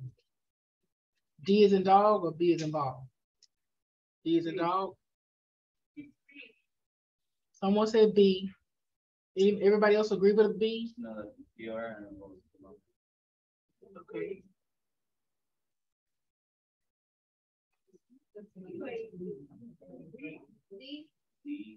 If you, if you agree with sinus bradycardia, raise your hand. Here's the problem. Okay, if you agree with sinus bradycardia with first degree AV block, raise your hand. The answer is D, is in, in dog, sinus bradycardia with first degree AV block. Your PR interval is greater than 0.20. Okay, so guys, this is it. We're done. Thank you. All right, so I hope this has been helpful. Uh, I'm gonna go ahead and log out now. Have a great day.